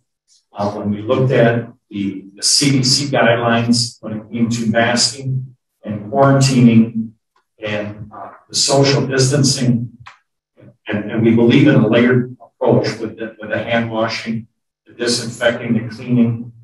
Um, the administrative team would certainly, at this point in time, recommend while indoors during the school day, students uh, wear a mask. Because of uh, the guidelines that come from the CDC, it, it allows people, in essence, to quarantine within the building, within the classroom, uh, as long as they're symptom free and can be tested um, so that, that would be the recommendation coming out of the administrative team at this time. Okay, so we have the board policy 443.11, which is mask and face coverings. Um, uh, we're going to get to the point where uh, we're going to have a vote on that policy. Um, before we do that, I want to have a presentation from our medical advisor and school nurse about what the current state of the pandemic is in our community and introduce uh, the proposed protocols um, as um, the proposed protocols will differ depending on whether we have universal masking. So uh, we'll talk through what these protocols mean um, with or without universal masking, and then we'll take a vote on the uh, board policy. Okay, thank you. Thanks for everybody's comments and spirited discussion tonight. And um, as again a reminder, our our shared goal is to try to keep kids in person as much as possible this year, and also to help prevent as much as possible the spread of COVID-19 within our schools. So we took under advisement the CDC recommendations, the State Department of Health recommendations, Department of Public Instruction, and Iowa County Health Department recommendations, and created this instructional model with input from our admin team to try to find a way that we can find a balance between keeping kids in person as much as possible and making sure that we're keeping people safe as much as possible. So, uh, one of the main differences compared to last year when it comes to the situation we're in right now is, you know, we had a nice six week period over the summer where we had very few cases and we were able to be, you know, unvaccinated people. CDC said you can go unmasked in public buildings and things like that. And then, very unfortunately, the Delta variant, which um, started during a very difficult surge in India and then transmitted throughout the entire world, became the dominant strain in our area and in the rest of the country. And the difference between the Delta variant and the um, variant that we saw most of the year last year is the increased transmissibility. So data will play out over time to see if it's more severe or not. That's really where we don't have that data yet to see whether it's more severe, but it's definitely more transmissible. And so if you have a transmission rate that's four times higher than the rate that we had last year for, for COVID, you may say you have four times as many cases. Even if by percentage, it's just the same amount of severity, you're going to have four, four times as much severe disease. So the goal of any policy that we would have within the school would be to cut down on transmission from person to person so that we're not contributing to community spread within the school. Last year, with our precautions, we did quite a good job at, at preventing school being the source of a community outbreak, but that was with all those protections in place.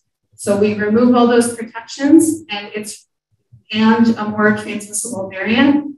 There are modeling data that support that if you have an unmasked, unvaccinated population, for example, the elementary school, after two months of, un, of uh, in-person school unmasked, you will have a 90% rate of spread.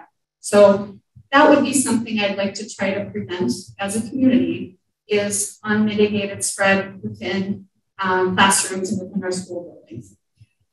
So, uh, you know, the last time we met, we still were in that low transmission rate in our in our community, but we were seeing some of those other areas in the in the country unfortunately seeing big surges in their cases. And we didn't really know whether that, when that was going to hit or whether that would hit our area. Um, in late July, we started to see an increase in cases, and we rose through the ranks of the CDC um, risk, risk uh, categories. We were in the low risk, then we climbed to moderate, very quickly rushed through substantial, and now we're in the high risk category and have been there for about three weeks. That high risk category correlates to a CDC and um, State Department of Health recommendation that all people wear masks inside any public spaces. So, regardless of what the CDC recommendations are for K through 12, right now the recommendation is that every person in our community be wearing a mask when they're in public places. And that's not to be punitive and it's not to um, you know, try to take it out on people or make people feel bad about where we're at. It's to try to reduce the spread of the disease. So in addition to those recommendations for the general community, the CDC has also made a recommendation based on the Delta variant that all K through 12 schools have universal masking policies in place. That CDC recommendation is endorsed by our state Department of Health, it's endorsed by our county health department, and it's endorsed by our admin team and uh, myself as medical advisor and our school nurse, Jane. Go ahead, Dr. Fox, can you uh, explain why why masking for COVID as a outbreak and not for flu? So flu is less transmissible than COVID. Um, so we the R naught value that we've seen for for influenza for children um, it's not quite what somebody put it before. Um, it's 1.5 to 1.8. So that R naught means on average, one person with influenza will infect 1.5 to 1.8 people. Um, we also have a vaccine for influenza that's available to all children. And so we have some reduction in that risk just based on that vaccine being available as well. Um, COVID last year had an R naught value of two. So that meant on average, each person was infecting two other people. So it's slightly higher than flu to begin with. And now the Delta variant is at six to eight cases per person. So one person with COVID on average will infect to six to eight people. That's more infectious than varicella, which is chickenpox. So if you had a chickenpox epidemic in your community, and you would think about maybe shutting down a classroom for that, this is more infectious than that. And so the, the masks cut down on, on that transmission just by blocking those viral particles. The other difference with influenza is that with influenza, when people are infectious, they are sick. So you get a fever, you know to stay home, you're staying home during that time and you might be shedding viral particles. COVID, unfortunately, the way that it sets up in the body is you start shedding viral particles up to 48 hours before you would have any symptoms at all. So asymptomatic people can infect people without even knowing that they have it. So that's why universal masking is important and not just, just mask when you're sick or something like that. Can you speak to the concern about hypercapnia and masking? So the study that was um, released briefly in the American Academy of Pediatrics Journal on hypercapnia, which is the buildup of carbon dioxide in, in the blood in people who are wearing masks, that was very quickly debunked. And there is not a concern by the American Academy of Pediatrics for hypercarbia or hypercapnia in, um, in people wearing masks. We in healthcare have worn them for many, many years, and we've done many studies on our carbon dioxide levels. There may be, when we're first wearing masks, a slight increase, and then our body regulates that over the course of about a week. So many people noticed last year when they started the school year that they maybe felt a little bit, um, the first week it's hard to get used to wearing the mask. Um, and uh, that that is your body kind of adjusting to that slight increase in uh, carbon dioxide that's not harmful. And if it were harmful, we'd be seeing a lot of problems with that uh, in people who are in the medical uh, profession. Children are not any more vulnerable to hypercapnia than adults would be, and masks are not considered to be harmful by the American Academy of Pediatrics, um, CDC, and American Academy of Family Physicians.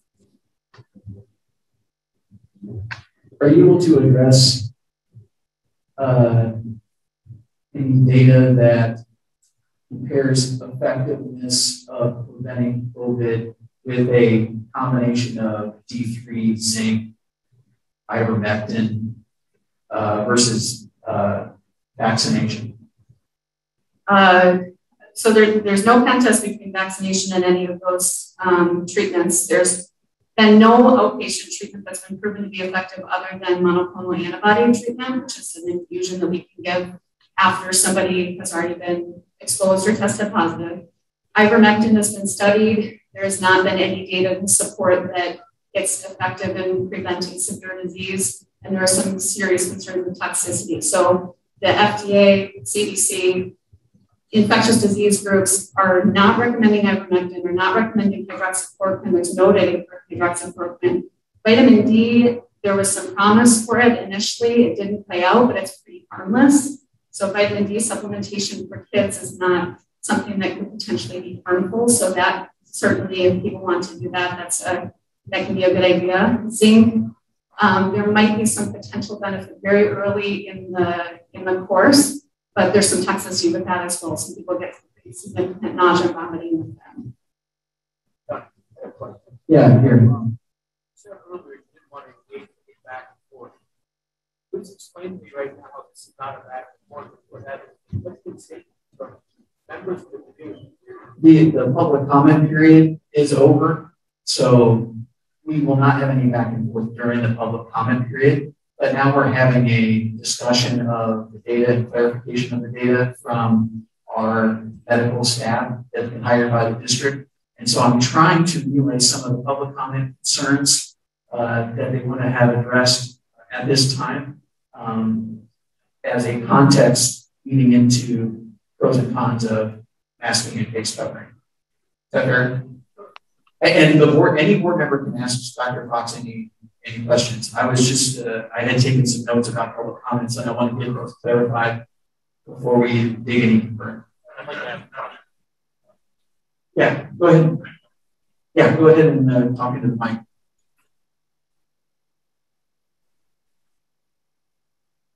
So Sarah and Jean, a year ago you were sitting here telling the board uh, we need the plan to hmm? what? Go ahead, Larry.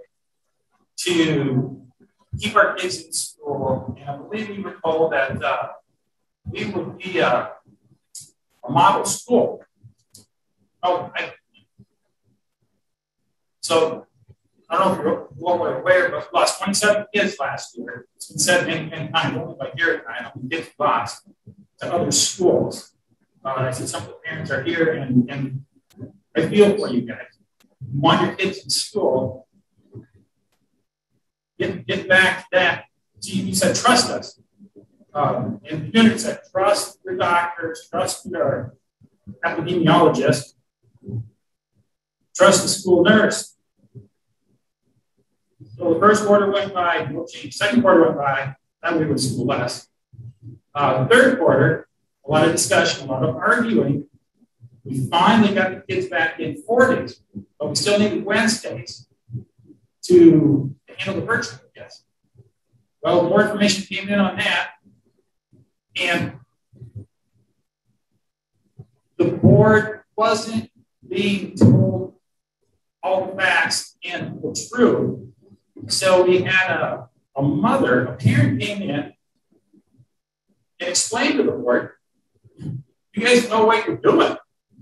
And she single-handedly got our kids back in school finally, the fourth quarter of last year, five days a week. So three months later, you're right back in the same spot saying, trust us. We're the medical experts. I'm not quite buying what you're selling.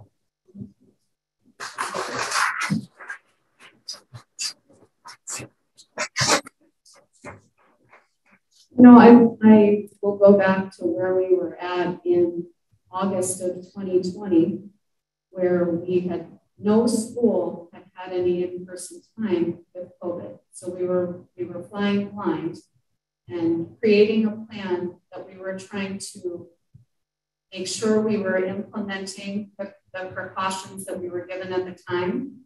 And with the admin team, came up with the plan so that we would very we would be able to have some virtual experience so that when we eventually went virtual, it wasn't a brand new technology for people. We had worked out some of the technology uh, issues, as well as having decreased time where people could potentially expose other people at school. And that part of it worked. If you remember last year, we started a week before anyone else, at least a week, right? And we uh, we, re- we rolled that surge in terms of the numbers of cases we had in our schools, and we're writing that at a lower level than what other surrounding uh, districts were, even though we had had an extra week of school and potential exposure. We happened to be in the worst surge of the year in November of 2020, like all of Wisconsin, And so timing of that probably coincided to a huge surge in cases in colleges and schools starting in September, which then filtered out to the rest of the state. So if we can try to be as a community cautious about how we how we mitigate risk here, we might be able to prevent some spread within our community by mitigating this risk. And if you'll notice in the plan that we've laid out, and I can go into some detail, the, the way that we are trying to get through this year is by trying to maximize the amount of in-person time by minimizing the numbers of close context exclusions that we had. So much of the year when people were missing school and we had massive numbers of teachers out in October where we couldn't find subs to cover for them, um, or massive numbers of students out where we said this whole classroom is going to have to be virtual because we don't have enough kids in class to make this it.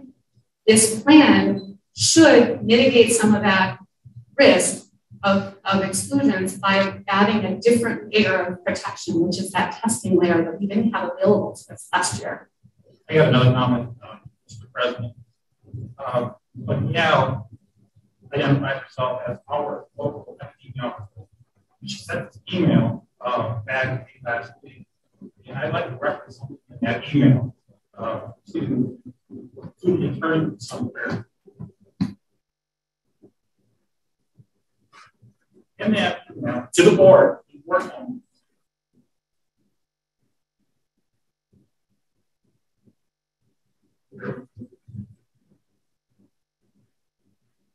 So you're rereading, you're rereading a quote from the email we got from her. Yes, okay. our local. Right. To the extent anti-maskers object that masks violate their right to liberty, parentheses, my body, my choice, parentheses, they merely read the Supreme Court's Jacobson versus Massachusetts decision. It explains why mask mandates don't violate any constitutional right to privacy, health, or bodily integrity. That bothered, that bothered me all week because I, I remember that case from way back in high school. And I'm wondering if Shana or Bren can shed light on that case. What was that case called? Well, we're going to have, we can have Shana talk about the, specifically the violation of liberty with masks. Uh, Jacobson versus Massachusetts. I'm prepared to that case. Um, no, I'm not prepared to address the case. I don't know that we're going to be asking. I will tell you that repeatedly the reports have upheld mask mandates across the state with regard to local public schools. I'm talking about Jacobson versus Massachusetts. I, I can't help you. Brett, can you enlighten us? You would, you would want to ask the board yeah, we'll have to get approval from the board to have a citizen you know, who's not been invited to the discussion to actively participate in the discussion. Uh, okay, Dr. Fox, can, you presented the protocol for the school year. Oh, did, did you make a motion? Okay. Okay. Do I have a second? Okay. Mr. Skelding? Okay. Uh, so you want to set in the allotted time? No, just two minutes. Okay. Angie, uh, we have a motion uh, to ask the uh, guest speaker to give an opinion on a specific matter for two minutes and take a roll call.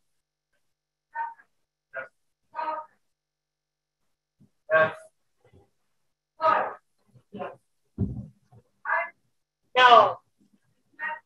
No. Yes. No. So passes four to three, correct? Okay. Go ahead, sir. You have two minutes. All right, I'll start by saying that this legal advice is on all of my clients. Uh, but Jacobson versus Massachusetts case I've gone up against quite a few times in various federal and state cases I've brought against public health public health agencies in Wisconsin, to include Dane County Public Health and various school districts throughout Wisconsin. One thing about it is it was decided in 1905 before any levels of strict scrutiny uh, have been determined by the federal Supreme Court in local cases as it relates to vaccines and mask mandates that have reached a Supreme Court. It hasn't been cited as a footnote other than it exists. We can talk about Jacobson, but one of the key quotes in there is actually not from Jacobson, but it's from a case that cited Jacobson as authority. And that is Buck versus Bell, is one of the worst decisions, been called out of decisions. That basically said that local governments have the ability, and this again, Buck versus Bell, to forcibly sterilize individuals that they deem unfit for society. Uh, and the quote in there goes something along the lines of three generations of imbeciles are enough. Now, that is still technically good law. It has not been overturned, but the Supreme Court, the federal have not even considered Jacobson in their decisions. The state Supreme Court has not even considered Jacobson. So yes, that case exists, and I like to compare it to uh, any of the other civil rights cases that would still be technically uh, good law. Dred Scott saying that African Americans are not complete people or citizens has never been overturned in the federal Supreme Court. It was overturned by an act of Congress. Uh, so again, I would I just cause hesitation or suggest hesitation when we address cases from over 116 years ago uh, based on how the court does that. Right. Thank you, sir.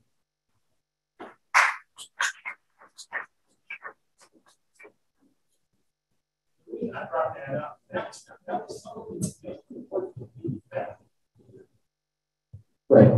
Okay. Thank you. All right. Yes. Uh, there should be a mic over there. Oh, Sarah. Dr. Fox, is there studies that look at kids in school with no mitigation strategies and only masks? Uh, yeah, there was a, so there's a collection of studies that are observational from last year. So to take it with a little bit of a grain of salt because this is pre-Delta. We don't have any Delta information. Um, they looked at distancing alone, vaccination alone. They, and these are modeling studies now.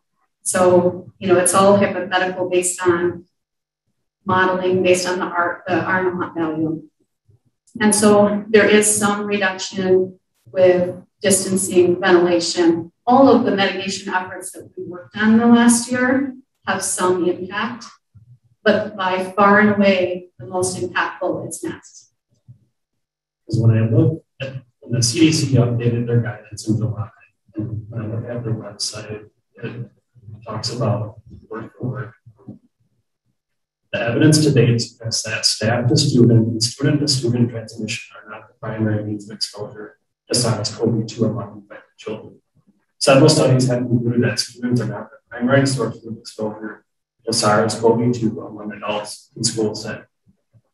And then didn't have time to go through all the citations of the scholarly journals, but I think the couple I ran and there was one in St. Louis, some in Utah, one in Wisconsin.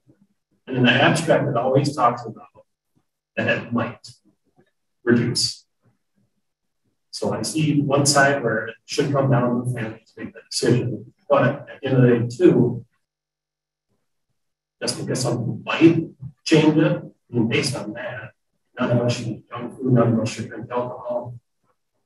That's where I get concerned. Because on the other hand, like your personal health gets talked about by CDC. I mean, I would think that the best thing anybody can do in this room is to live a healthy lifestyle to improve your immune system. But it never gets talked about. It's just something that might reduce, not statistically significant.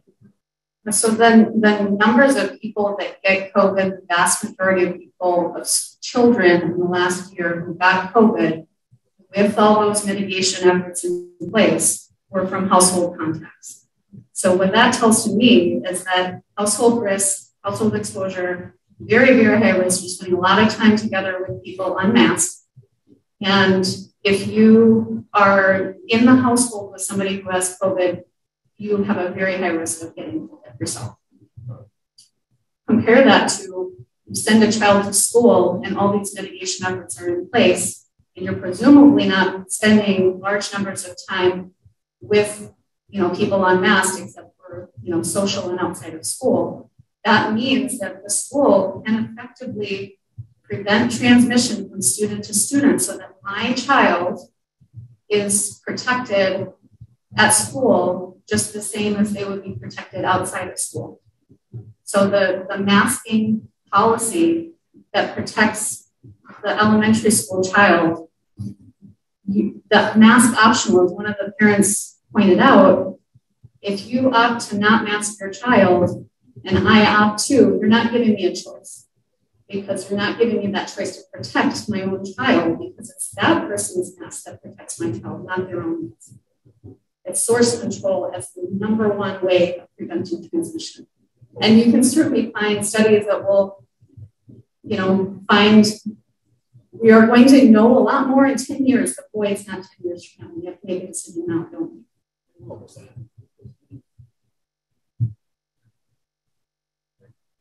So the CDC also talked about on the website, it says, therefore, the 21 to 22 school year will not be directly comparable to the 20 to 21 school year.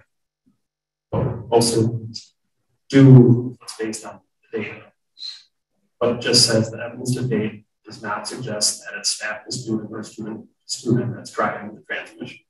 Because of the mitigation measures that were in place last year um, across the country. So various school districts. All these school districts that are studied, you have to, if you want to make a policy that has the same level of spread as last year in with a more transmissible virus, you have to at least have the level of protection we had last year. And that's universal masking, that's what we had.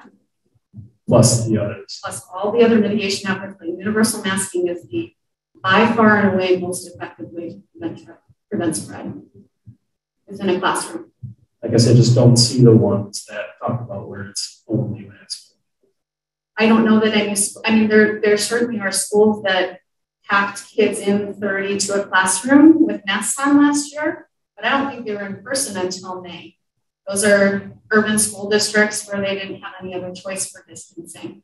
So in, in rural school districts, most of the studies are based on rural school districts like ours, where they have the ability to space somewhat, you might have somewhat outdated ventilation systems, but they, you know, that's something to work on. Hand hygiene and masking and, and staying home when sick and doing screening and exclusion appropriately. We can't say what percentage does each one provide. And I don't know whether we would ever have that data, but maybe 10 years from. But then how can we say, or how can we say that the mask is by far because, universal best? Because in places like healthcare settings where people are wearing masks and not able to distance, we're seeing decreased spread. So we're, and then, you know, the other thing to think about is if, if masks didn't work, it doesn't make sense that we had such few diseases in children this last year. So masks help to prevent all sorts of viruses from passing. And so we saw the lightest year we've seen ever ever for children, probably because of masks. But hygiene, personal hygiene, social distancing, testing, all that stuff was in place. So I, will let others ask questions, but that's where. I don't think anybody would have an answer for you on what percent, you know, how can you separate out masks versus all the other mitigation efforts?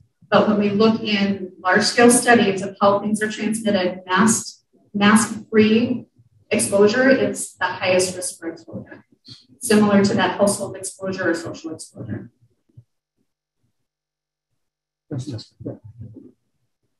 Good question. I'm sorry. Yeah. Dr. Fox, can you review the, the protocols as presented to the board and how the protocol differs with universal masking versus uh, with masking optional. You want me to talk through the whole thing or just the masking and exposures and quarantines? I mean, I think you can hit the high points as far as listing the other safety measures. Um, not going into great detail, but and and yes, um, you can go on to page two with the uh, the quarantine and close contact comparison chart. And it, admin, if you have anything to add on this, um, interrupt if there's anything I'm saying that's incorrect regarding classrooms, that sort of thing. Um, so the, the instructional model for the district is to offer in-person instruction for the 21-22 school year. Um, there is a caveat that if there is a um, threshold that cases meet within the district, so such that more than 30% of the student body is absent, there may be a consideration for going to a virtual school year similar to a flu season. So there's a previous um, document from Department of Public Instruction regarding flipping to uh, you know, closing down a building if you have more than 30% of your kids being absent for influenza, and I would suggest a similar threshold. Um, in terms of safety measures, the recommendation for face coverings is that students and staff in grades early childhood or pre-K through 12 will be required to wear masks indoors in all school buildings and while indoors at any school or district required events or activities. General public age five and up will be required to wear masks inside a district building. Based on a CDC and federal order, all students and staff are required to wear a mask on school buses and when in school district owned vehicles, unless there's only a driver present. In other words, no students present. Students may remove face coverings when eating, drinking, during socially distanced scheduled breaks, and at outdoor recess or classes of course. Students and staff may be exempted from wearing face coverings due to special behavioral or individual needs. Exceptions made on a case by case basis by principal, director of special education, or district administrator. Um, Next, recommendations for hand washing, encourage frequent hand washing, use of hand sanitizer, do not touch face and brain, and cover cough and sneeze. Social distancing, school district will encourage to make encourage students to maintain at least three feet of physical distance between other students within the school building. And the school district will encourage teachers and staff to maintain at least six feet of physical distance between themselves and student and students and other staff within the school building.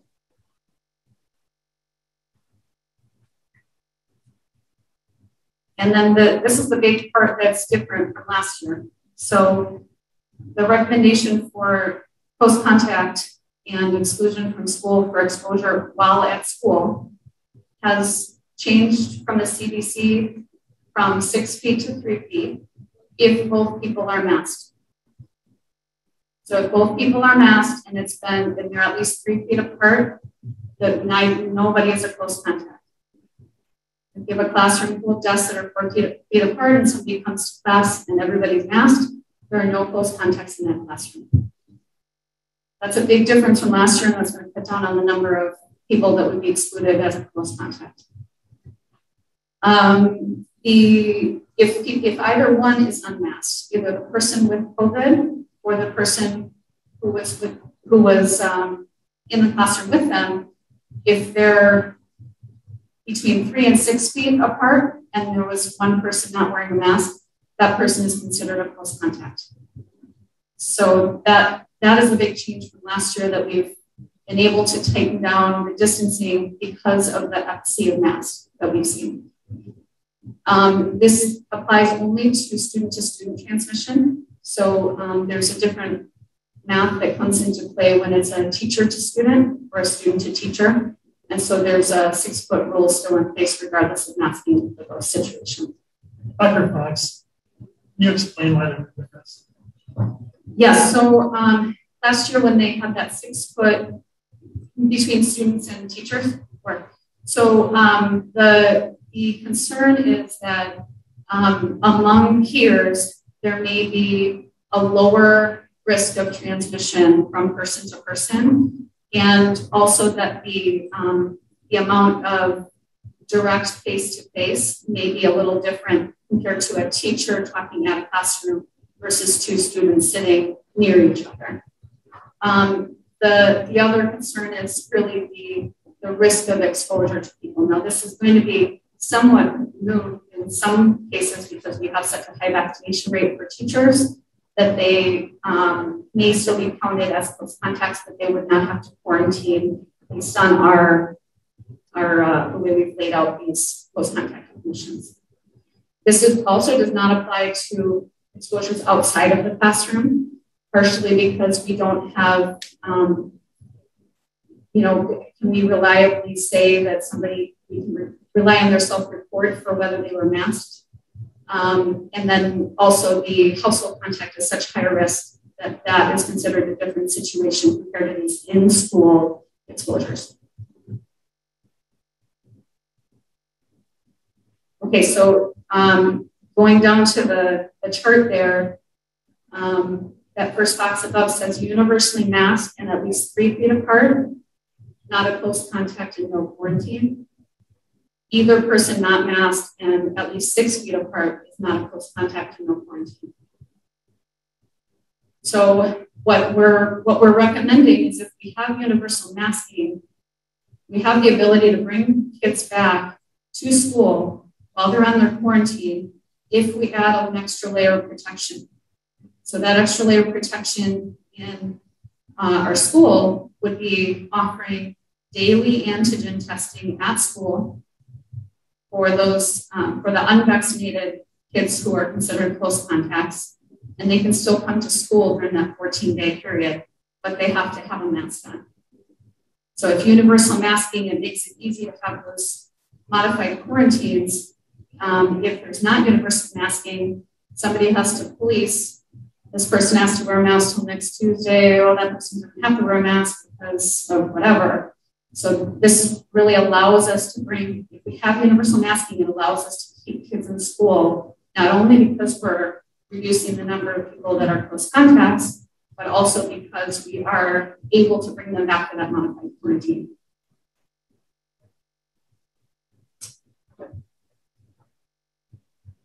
When you speak about doing the testing in school, um, not debating the testing or anything, you're using the PCR test, that correct?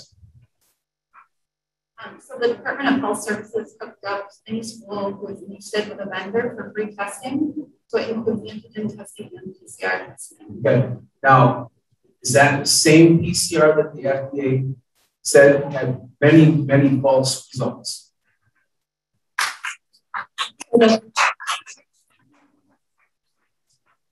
There are several different platforms for PCR. Um, right now, we're currently using the Cepheid platform and the Abbott um, ID Now platform.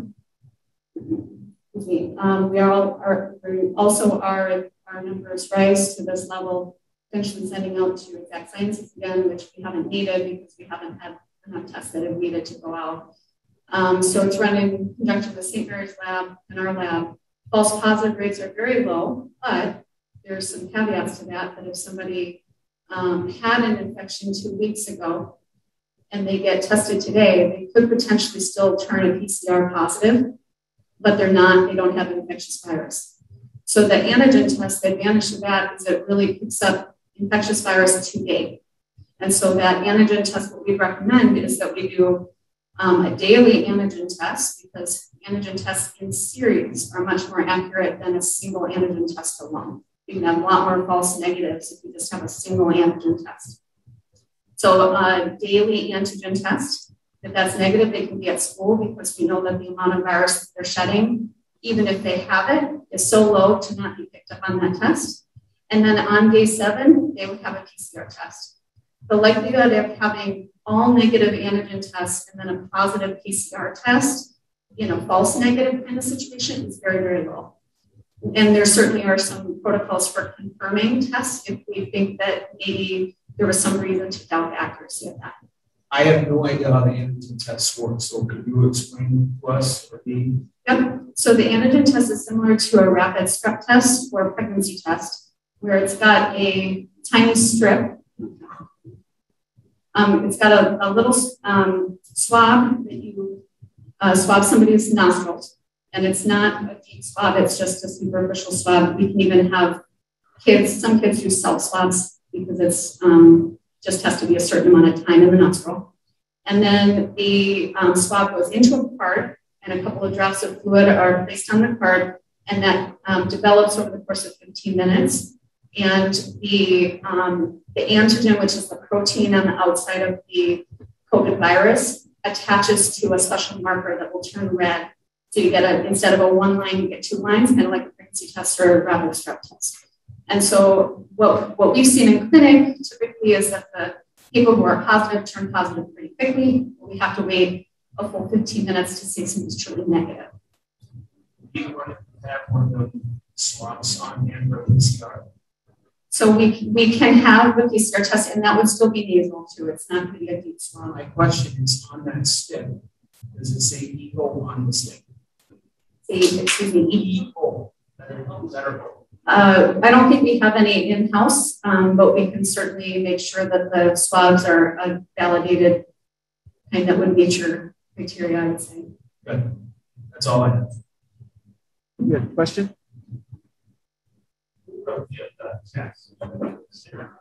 Yeah, that's a good question. It all depends on what you all decide tonight. Um, but the company can come out and they can bring staff out here to test if we have large groups that need to be test, tested. Our school is fairly small and, and hopefully we're not doing mass amounts daily.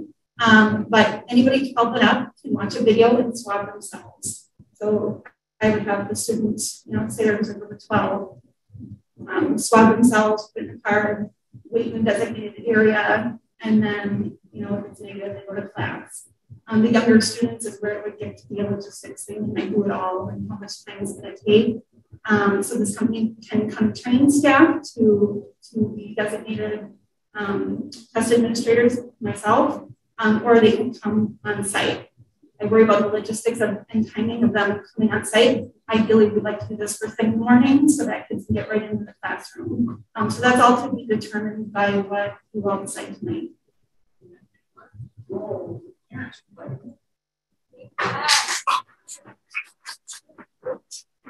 So as, um, as, as it is laid out in this recommendation is that testing is not required.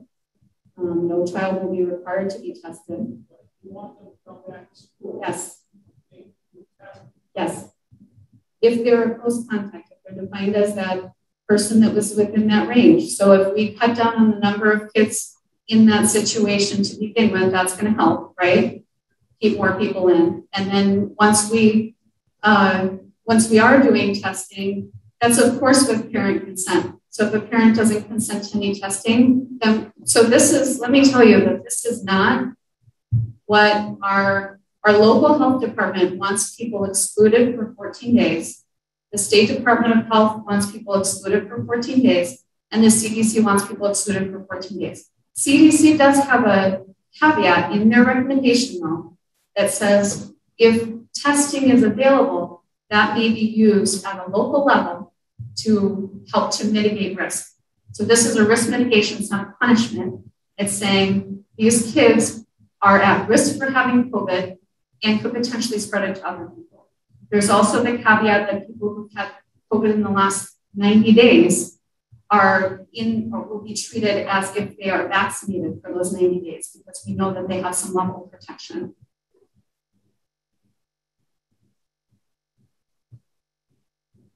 This plan, the schedule, seems very complicated. And I know the board has seen some information of provided with the administrator recommendations. I don't think anybody what, you're part. Do you, do you have specific questions that I can address? One, one reason this document is more, so first of all, this is very complicated. This is unfortunately a very, very complicated thing, and it's hard to simplify it um, so that it's you know easy to kind of have on hand information for who needs to do what. Just a simple question, um, Sarah. Do you, do you think the 27 kids that left our district are going to come back if they have to abide by these rules? I'm just. I'm, I'm not an administrator. I don't know if I can answer that question. I do question whether there are people that would leave the district if there were not universal announcing this year and no virtual option. Well, a year ago, there was no mention of kids leaving the district, even though Gary and I, we, we talked about it regularly. Um, nobody seemed to care. But now all of a sudden we care. Uh, you, you asked the question whether those people would but, but you believe that that's good. I, I said there may be other tips that could potentially leave the district as well. But again, that's an admin question. That's not a question for me. I would, say. I would just like to clarify, I have had several parents contact me that we don't have a mask mandate. won't be able to to school. Uh, because they have maybe some, uh, you know, compromised weight or other things, make them very sick. And uh, I think we need to be careful for everything. Thanks, Bob uh, and Larry. Uh, can you finish summarizing the protocol and then we'll uh, open up for further questions? Um, so the the other question is um, vaccinated versus unvaccinated. So if we have a vaccinated person, that's that extra layer of risk mitigation that we're using instead of the daily antigen test, but we still want those people to get tested on day three to five. And um, we need them to mask while they're at school. Um, there's a question of whether, so we, Jane and I don't have all the answers, and we have some uh, some pieces that we think are places where you could have some wiggle room. And so one thing we're questioning is whether vaccinated folks with a negative PCR and potentially unvaccinated people with a negative PCR could return to sports if they're masking. Now, the problem is that outdoor sports are, well, none of the sports right now are requiring masking. Um, so then it would be up to coaches or administrators to enforce masking for that person so that they can come back during that period after they've had that negative test. So that's, um, I don't know if that's something that the board wants to talk about or Evan wants to talk about.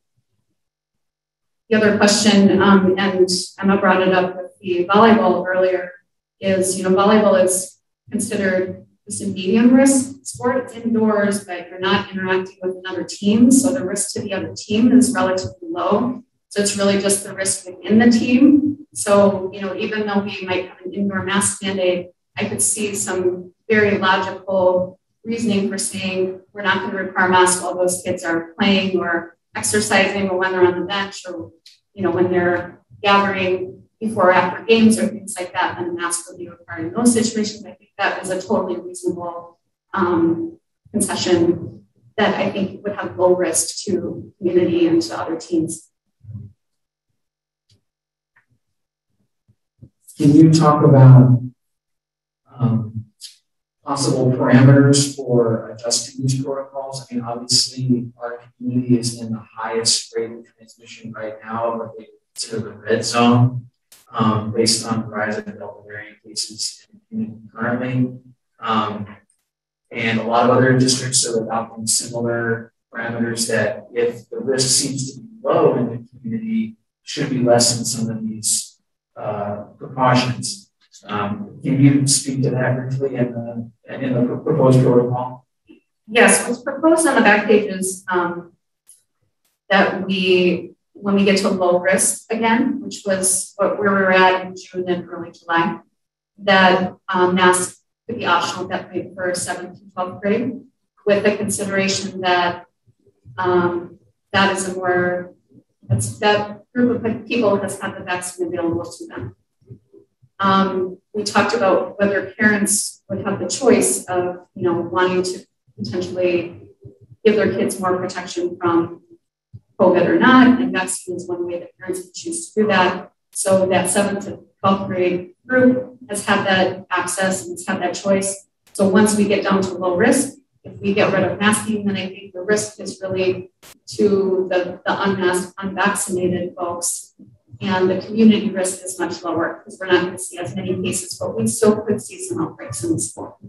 The problem with once we make masks optional is that it becomes nearly impossible to do in school quarantine. Um, we'd be dealing with lower numbers at that point. So would really be, you know, one or two kids at a time, potentially for quarantine rather than 20, which you could easily have at an unusual time. But at that point, I think unless masks are required or we find some way for admin to enforce masking for those close contacts, I think the quarantine would have to get home at that point. Um, my proposal here was that we have um, a requirement for masks for um, 4K through sixth grade until, if we're in the low range, until six weeks after a vaccine is available to the age group. Um, and, you know, I think that's, those numbers are somewhat somewhat debatable, but I think there's, um, you know, some question of what, what good are we going to do to do six weeks of it? And then six weeks before a vaccine is available, all of a sudden we're unmasking everybody. And the, the parents that had that concern about masking to begin the year, whether they would um, have any reassurance with those lower numbers when there's not a vaccine available. So I, again, Jane and I came up with, this is modeled on the CDC numbers. So the CDC um, case rates for the county and the percent positive rate for the county. And so these are numbers that are um, slightly retrospective. So it's a week's worth of data. Um, and then it's reported a week at a time. So you don't have a running total, but you get kind of a weekly snapshot. And so based on that weekly snapshot, you went two weeks in the low category, and mask would be optional for those higher age groups and you have um, real, relatively low risk of spread for the community. The caveat to that is if we go high again, then people have to be willing to re-implement the same precautions that we're doing when we have high cases now. So it has to be able to flex with what we're seeing in the communities so that we're not running the risk of outbreaks.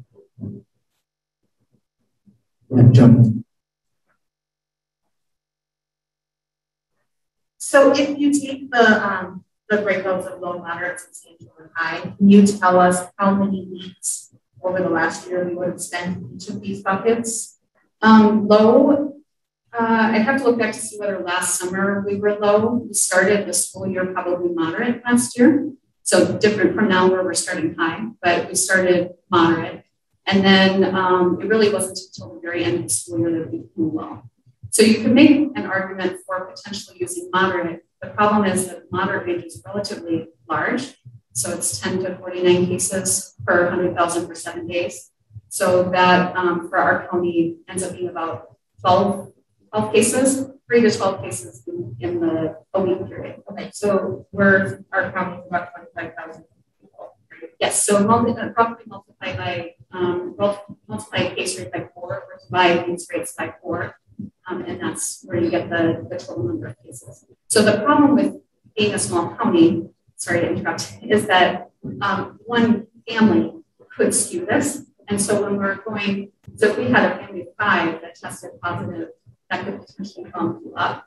But if you're overall low rate, then um, you should go back down. So my suggestion for reversing the mask policy, say we we are low and then cases are climbing again, um, would be you have to have two weeks at that higher level before you say, oh, we mask again. And is there data available at the school district level as opposed to the county level? And does that change? Um, does that change the frequency at which we would fall into the brackets? Uh, that's a good question. We can drill down um, as of recent months to that. We don't have it retrospective for the last year, but we do they can drill down cases to zip code, and then we would have to, and so then, or, or school district, but then we would have to divide them by the total of people in the school district, not by the county. So we would still, you know, potentially look at a case rate like this as listed, but based on our school district rather than the county numbers. And that may make sense with some districts in our county not having mask requirements and things like that. We may see those numbers suddenly drive up when our numbers are fine. So a school district rate would be a reasonable thing to look at with that.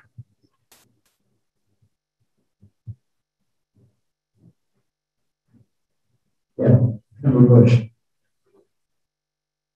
First of all, I want to say, even though it may not appear that way to everybody here, this this document looking at that based on earlier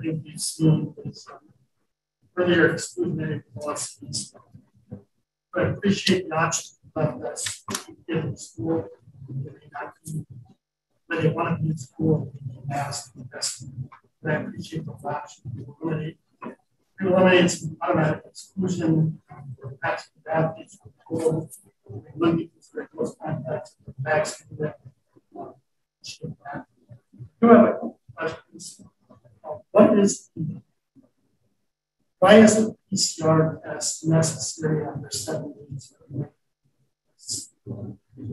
Um, so, So the, the PCR test is still the gold standard test for COVID.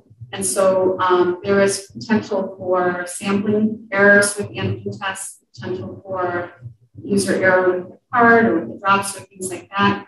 And the PCR has a much more reliable technology where we can pick up on the levels of disease that are meaningful to say yes you or no don't. The COVID PCR is also the confirming test for any antigen positive. So antigen positive is to be the symptoms and they're presumed to be positive, but sometimes we will um, uh, PCR test them as well to confirm that. And so the antigen test alone will still miss a good number of kids, low risk to the people around them on those days. So it makes sense to still have them in person if they have a negative. But that PCR test is the gold standard test and allows us to say, okay, the likelihood you had a negative PCR on day seven, there's quite a number of studies that have shown, okay, negative PCR on day seven, if you continue to mask, you're low risk for the people around you, even if you had a low level infection this week that wasn't picked up on all of our testing. But that PCR is still that gold standard to really say, okay, we're covered. The antigen test, those were negative all week, and this confirms that they do not. So what is the what is the outcome if PCR seven is positive? So then they, so that person would be considered COVID positive and then they would need to be excluded from school. But then we're going oh, out. What's that? Oh. So that is 10 days from the from either onset of symptoms if somebody's symptomatic or 10 days from a positive test. Yes. Yep. And so the, the onset of turning a test positive um, is anywhere between three and seven days, typically. After, especially after Delta, it's a little earlier in the course than what we were seeing with the wild type variant. So if we have negative antigens that whole week, the likelihood we're going to have a, a positive PCR is very low, but not zero. And so we're not going to have a lot of people that fall into that case, that rate. I would say more likely scenarios that they're going to turn an antigen positive. We saw this with some staff this year, where they had household exposure. We were um, short staffed and bringing people to, to work when they were close contacts even um, uh, during that 14 day period, but we were antigen testing them every day and they would antigen test positive and then the next day develop symptoms. And so we're catching them just slightly earlier. So more likely scenarios, we see a positive antigen on day four, reflex to PCR, that PCR is positive, starting day four, starting their 10 days. That's do very low, negative all days positive. Then that percentage is still higher than the percentage of PCR workflow. Yes, right. Yes, I would believe that that positive result point because this is with somebody that is. We're not testing everybody. We're testing somebody who has a pre-test probability that's higher. So that positive PCR is less likely to be a false negative, and that positive predictive value of that test is that much higher. And what happens to students who sat next to that student with mask, if we're not the person mask on day one If they're if they're not masked, to say somebody is tested on day seven with a PCR and they're positive, if they were uh, not masked, then we'd be contact tracing all over the place. But luckily, we have a policy that they would be masked. If everyone around them is masked, and they're at least three feet apart, then there's no contact tracing. If they um, were in school for the two days before that positive test, and there are people within that, um, that three foot distancing, if masked or six foot distancing, if unmasked on those close contacts. And that would be a concern where we would start to say, hmm, we're maybe starting to see some spread in school. That's the other advantage to this is we're able to pick up on spread in school earlier because we're having more um, rigorous testing. And so that may be something where we say something's not working with what we're doing, something with our mitigation efforts. Is it ventilation in this classroom? Is there you know, something else that we need to be? Or is it just reinforcement masking and things like that? And one. Didn't see it on here, but Dr. just mentioned that we may require at home different number. I don't see it on here. Um, I see the option Um, mask test and stay in school.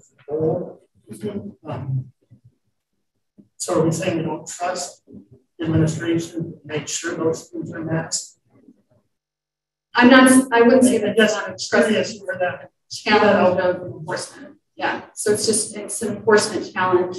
Um, if you have mask optional, and you, maybe that's a case by case, maybe you have a classroom where everybody does mask, say in the third grade, the teacher has, you know, even though, let's not say third grade, let's say seventh grade, even though there's no masking requirement, there has been a concerted effort by this group of people to wear masks, and he's, this student is one of those people that is very a very loyal mask wearer, and you know, you can say reliably that they're going to be distance and things like that, then that could certainly be a scenario where we come back. It's really just the, the ability to manage people in the building and say that we're protecting all the kids around them. Doesn't still unclear when. Oh, on the back page, on the back page under the low risk um, for quarantine, it says at home quarantine required.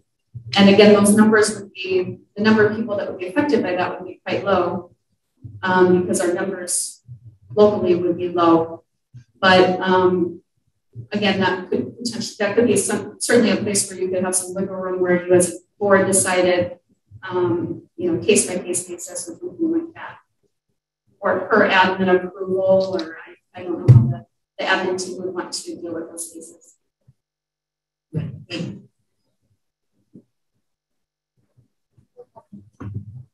And again, again, Andy, sorry to um, to go back to this, but the vaccinated students and athletes, um, they're still required to mask for 14 days after an exposure. So they're counted as a close contact, required to mask, but they can do whatever they want. So they can be in sports, they can, you know, go out in the community and things like that um, with a mask on. So as long as we have that piece in place, then we're really opening up the ability for kids to be in school um, and in their activities at a much higher level. What is the estimated timeline for a vaccine to be available for uh, for students under the age of sixth grade well? I'm I'm hopeful that end of September, early October is going to be EUA approval. There's some um, rumblings that the, they may require a longer study period before they would do EUA for that age group. Um, What's EUA? Uh, sorry, the emergency use authorization, which the um, vaccine was under up until today when we got, yesterday when we got full approval for, um, the FDA got full approval for um, Pfizer vaccine for ages 12 and up. The first vaccine that will likely be available to the 5 to 12 group will be Pfizer. The Moderna is up there as well, so it's possible we have two choices. Um, uh, there is a potential that it's going to get pushed out. I think the latest it would be available to um, kids in our community would be in November, and I'm hoping that it's not going to be later than that because it's, you know, it really by December, by September, they should have the data that they need to support that emergency use authorization. Member Jeanette. Thank you. I just want to say thank you, first of all, Dr. Fox, Nurse Lindsay, and the administration for taking the time to put this draft together. Uh, I know it's a lot of work. Uh, and I just had a, a couple of questions for you. I just want to make sure I'm understanding. So the, the Delta, uh, Delta variant is more contagious than what we had last. So things that we did last year may work may not work quite as well. Am I correct? Yes, that's okay. Uh, the next thing, uh, I do hear a lot of times people talking about size of a uh, molecule or a germ uh, being so small that you get right through the mask. So why are the masks Um, so, so two pieces on that. One is the size of a viral particle um, that the, the infectious is larger than the size of the carbon dioxide molecule that people are worried is getting trapped in the mask. So it's if the carbon dioxide were to get trapped in the viral particles here as well. But the, the bigger uh, answer to that question, the real answer to that question is that viruses don't travel by themselves. They travel on respiratory droplets, and the respiratory droplets that transmit this are large enough that they are caught by the mask. There is some concern with aerosol spread of this illness, and that is something that um, there, there are some concerns with that, and I, I don't know that we have the data to say for sure that it's um, not a large part of spread. It is least part of spread, but I think the vast majority are from direct exposures to uh, somebody's respiratory droplets, which are suspended in the air when you're in close contact with somebody, and probably to a lesser degree, respiratory droplets that are going into the air and then filtering it through to somebody that's really much more of a problem in a very confined space and without ventilation. So we, I, I think our ventilation system at this point in the schools is adequate that it's not likely it's going to spread by aerosol. Um, if it's spread by aerosol, then you know that's potentially through eye mucous membranes and other routes of spread. So the mask is um, less helpful in that case. So that would be something where we test some close contacts or we start to see, gosh, these people weren't even close contacts and they're symptomatic and we test them and they're positive and we see some spread within that. And that might be a signal that what we're doing perhaps is not meeting the level of what we need to do to protect those kids. Thank you. Just one last question. I'm I'm a little a little concerned when we hear about um, maybe you know we look at some other school districts and they're waiting until they see what is going on in the buildings in the district itself. Because of the way COVID spread, is it possible that it's just too late? Yeah, once you detect a case in the school, I mean, by definition, if somebody has been in school and they test positive, there's already been a couple days of spread and likely much more spread than we're even aware of. And so waiting till we see those positives within a building, that's the trigger for now we need to mask is, um, you know, the horse is already out of the barn on that one. Thank you. Yes, Commissioner, thank you. Go ahead. So, Sarah, uh, there's been a lot of discussion on uh, mask and particle size, droplet size.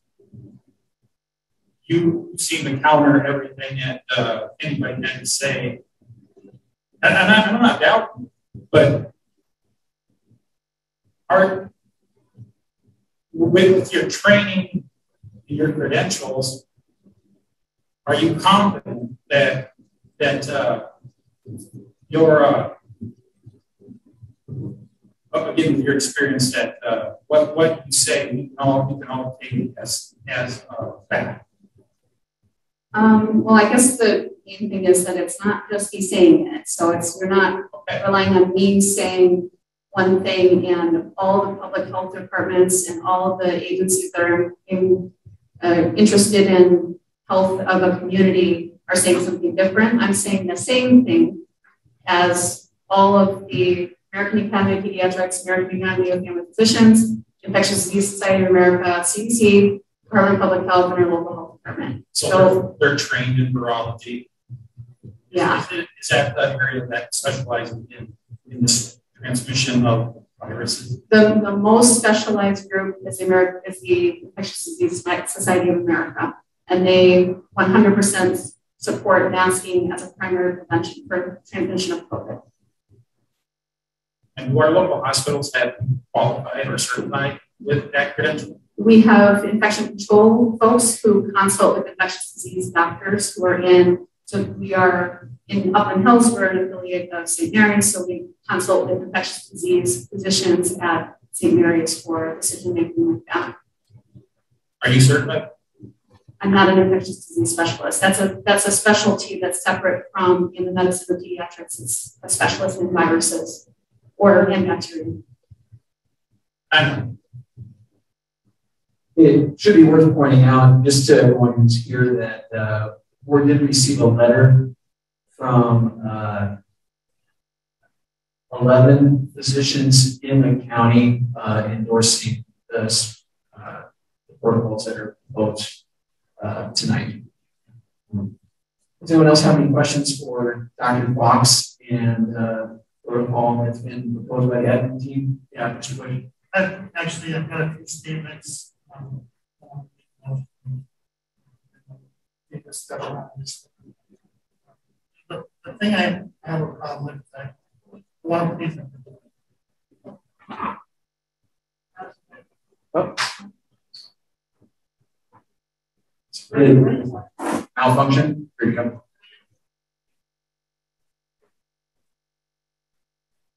is that I want to please everybody and I'm compassionate to those who fearful for their kids and I'm compassionate to those who are fearful for the going to their kids. And the one thing I have found in reading all of this and asking these questions as I came here not certain how I'm going to vote um, is in this letter um, from the 11 doctors it states masks worn indoors by all individuals who are not fully vaccinated. So the I'm assuming that was. Yeah, the timing of that letter was just before the CDC recommended because of the level of spread that it would be escalated. And I agree with that. And I wanted to point that out because I believe my own personal belief is this is not a natural virus. I believe it was created seen with, with the Delta variant, and I think there's another variant coming. So I think we don't know. You know, I, I think we can't this business match for the next four years. I, I think that uh, a compromise is needed very much for this. I think you presented a nice compromise. My goal tonight is more than making anybody happy was getting to school. We've got options here on the table provided for national exposure to keep those kids in school. Um, my other concern is um, the, the idea of fearful children and bullying and what's going to happen if, if we have mass adoption. And a lot of our kids are going to get direction from what their parents say. And when I walked in here, I'm certain there's a handful of people who thought, oh shit, shit, four of them and we have to be careful with the messages school our kids because we cannot create a bullying opportunity at school for those who are fearful, for those families who are fearful, and send their kids to. We cannot create an environment where those kids feel like they're doing something. But we do need a compromise. So I'm going to make a motion that we adopt the classroom exposures portion of this, keep masks optional, and create a matrix, or create a matrix similar to the city Belmont on mineral points, school community exposure, and positives, so that everybody knows we reach certain levels that we're going to next where we are. You know, we are doing certain things, and it's not a case by case basis. Understand optional needs. Mask for close contact for 14 days, no question for this time. It means testing for a various number of days for this time. And I think that is a compromise. And that's means. So that's my motion.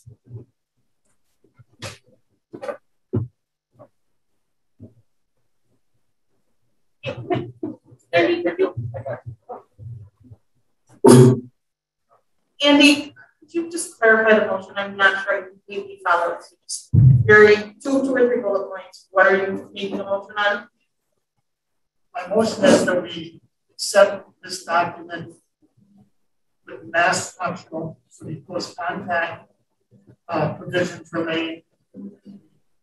Vaccinated, unvaccinated, vaccinated, mask optional, return to school protocol is followed.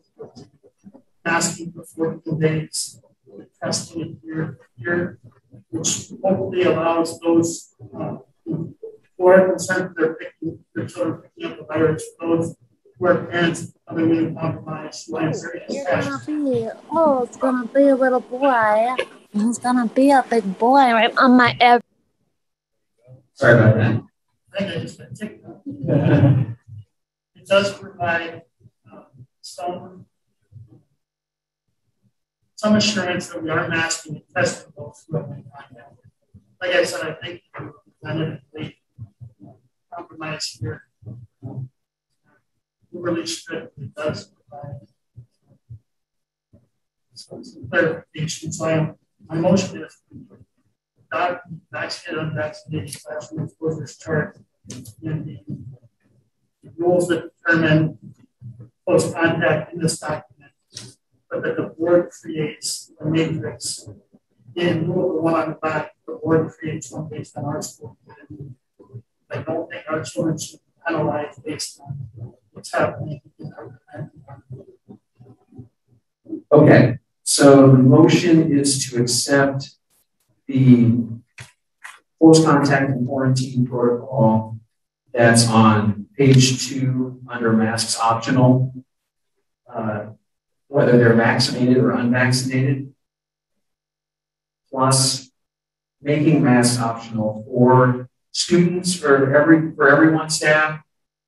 Okay, and uh, and for the board, the and the admin team to what the board the admin team to develop and the board to um, approve a matrix based on parameters of transmission only within the school itself. Yes. Correct. The rules were received. Okay. Is there a second to that motion? And then we'll have discussion. Okay. Second, member Steffes. Okay. I think you can use the mic. I think it's working now. So Andy, do you envision if kids do wear a mask, then they then they can by by you know, at home and that's on during that? No, because that would be only for universal masking. If universal masking was in place. It, it looks, it says here on the whole person mask, where it says either person not masked greater than. I'm assuming if people are masked and within six feet, that is not.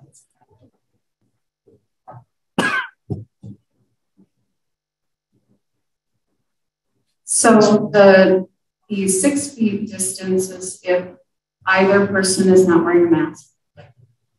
Um, so you have to be at least six feet apart from people if you have, um, so you have a student who wears a mask and they have a student who sits next to them who's four feet away and they test positive, that person would be excluded if they're four feet away. If both are masked, they can be within three feet.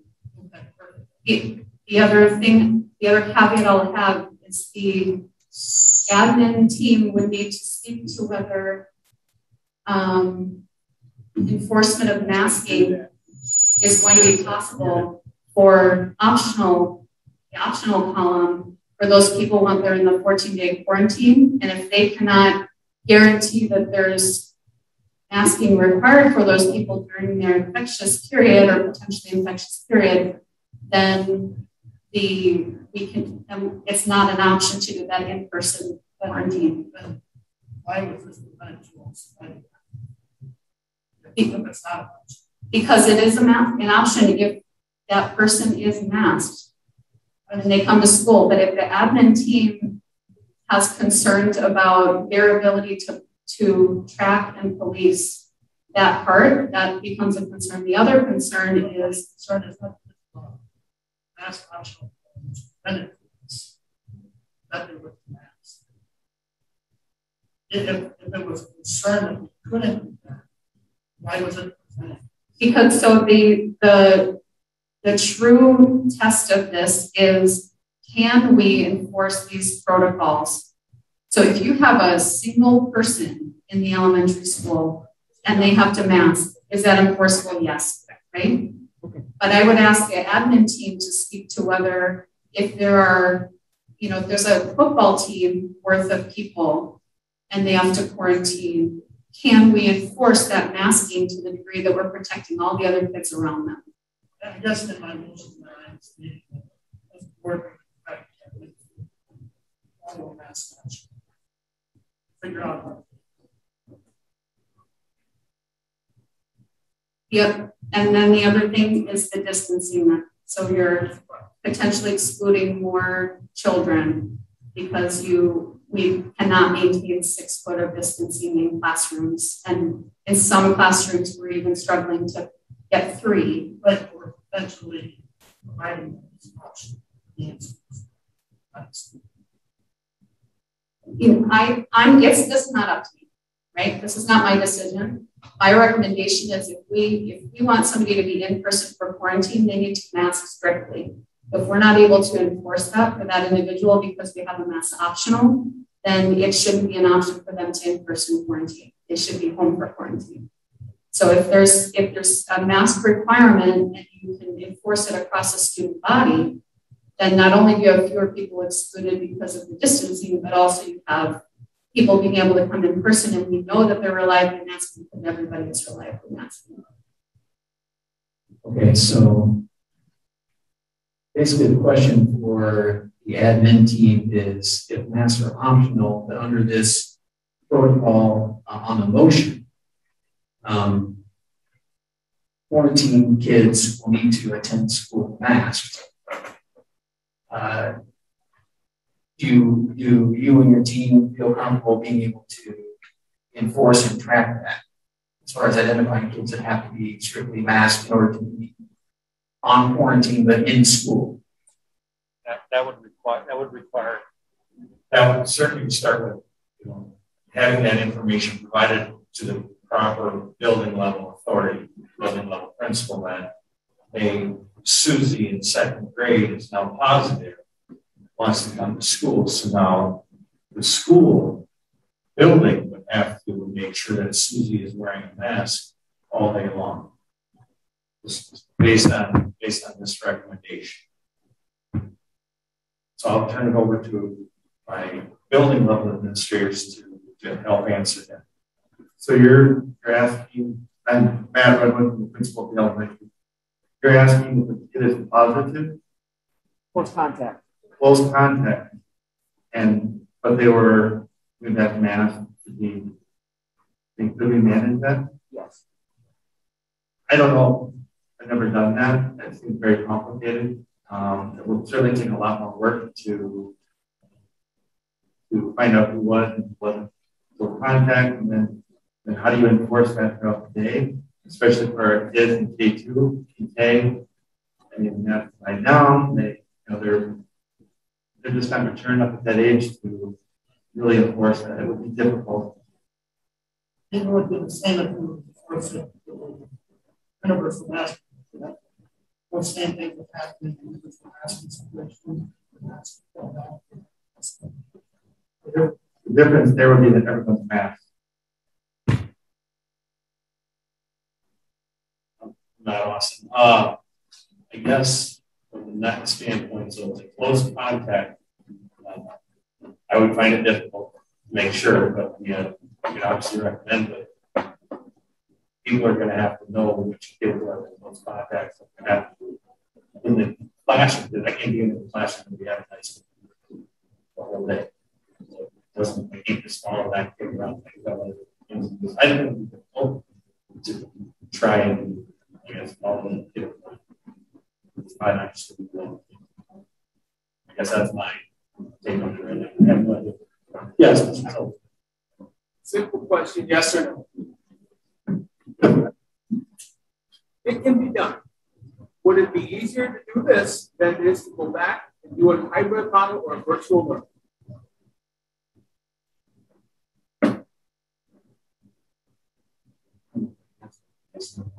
Um, so would it be easier to follow a kid around versus virtual or hybrid model?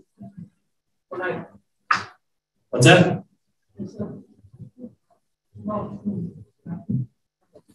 They would be, but they also have to teach. They would be, but they have to teach and focus on the education part of it.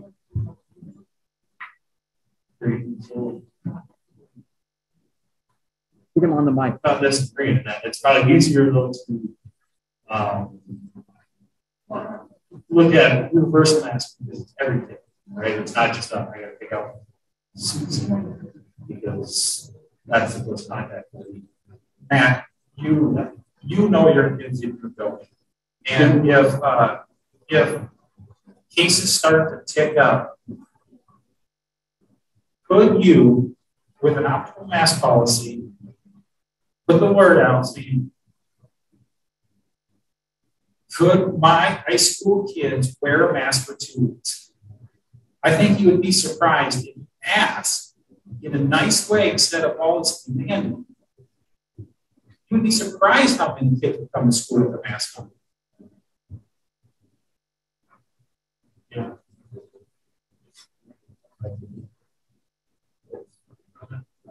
On the mic. I'm, I'm not going to disagree that a lot of people do that because I have a very good relationship with those. You know, I'm, I'm not going to disagree with that statement. But then, and I, and I would trust that if it's in close contact or you I would trust them. But I also know there are kids that are more often. There still could be more work on that side. That's all I'm saying. I'm, I'm not saying nothing, right? No, I, I was on them. I'm not saying I wasn't, but I, I do think yes, at the high school level, yeah, I can ask most kids to wear a mask. I can ask them to do this. I will because I know who they are. My, my, my concern is tough.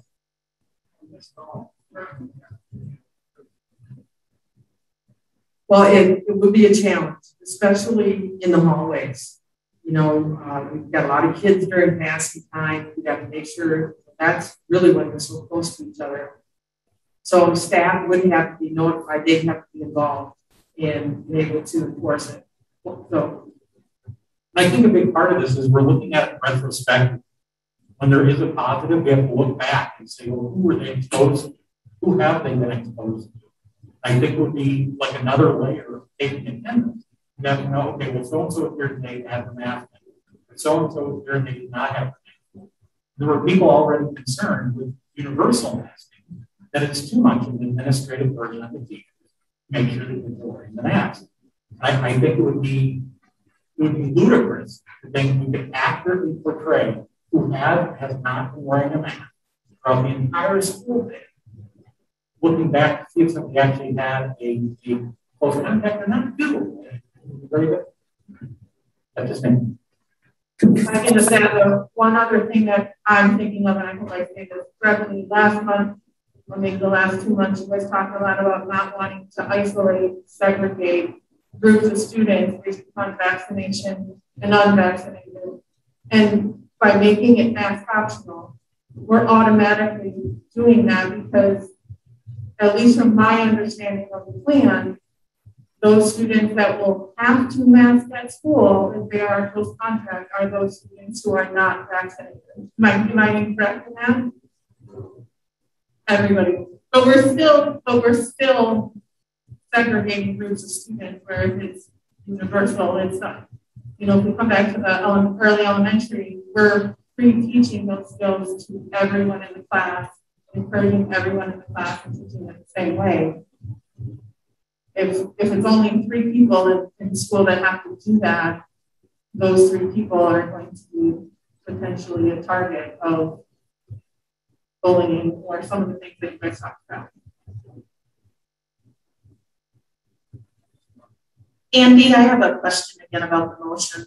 Um, at what point, if any, would we require masks, and I think that was kind of the to be determined.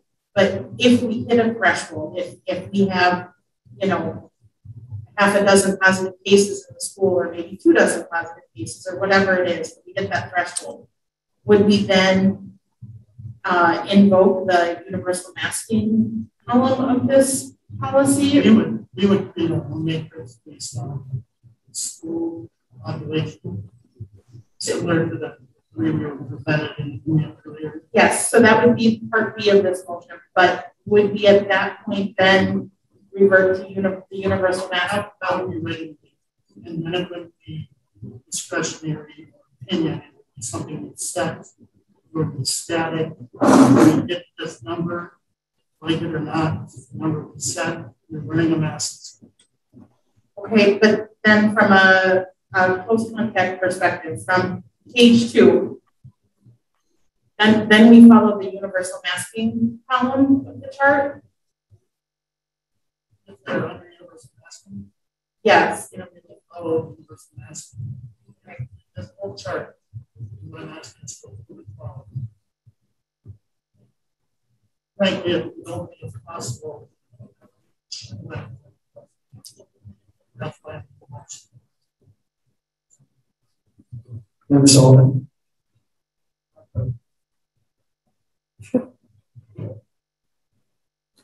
I got a lot of things wrote down, many things that I've accumulated over the last 18 months. And as I sit here tonight, I think back to late March 2020.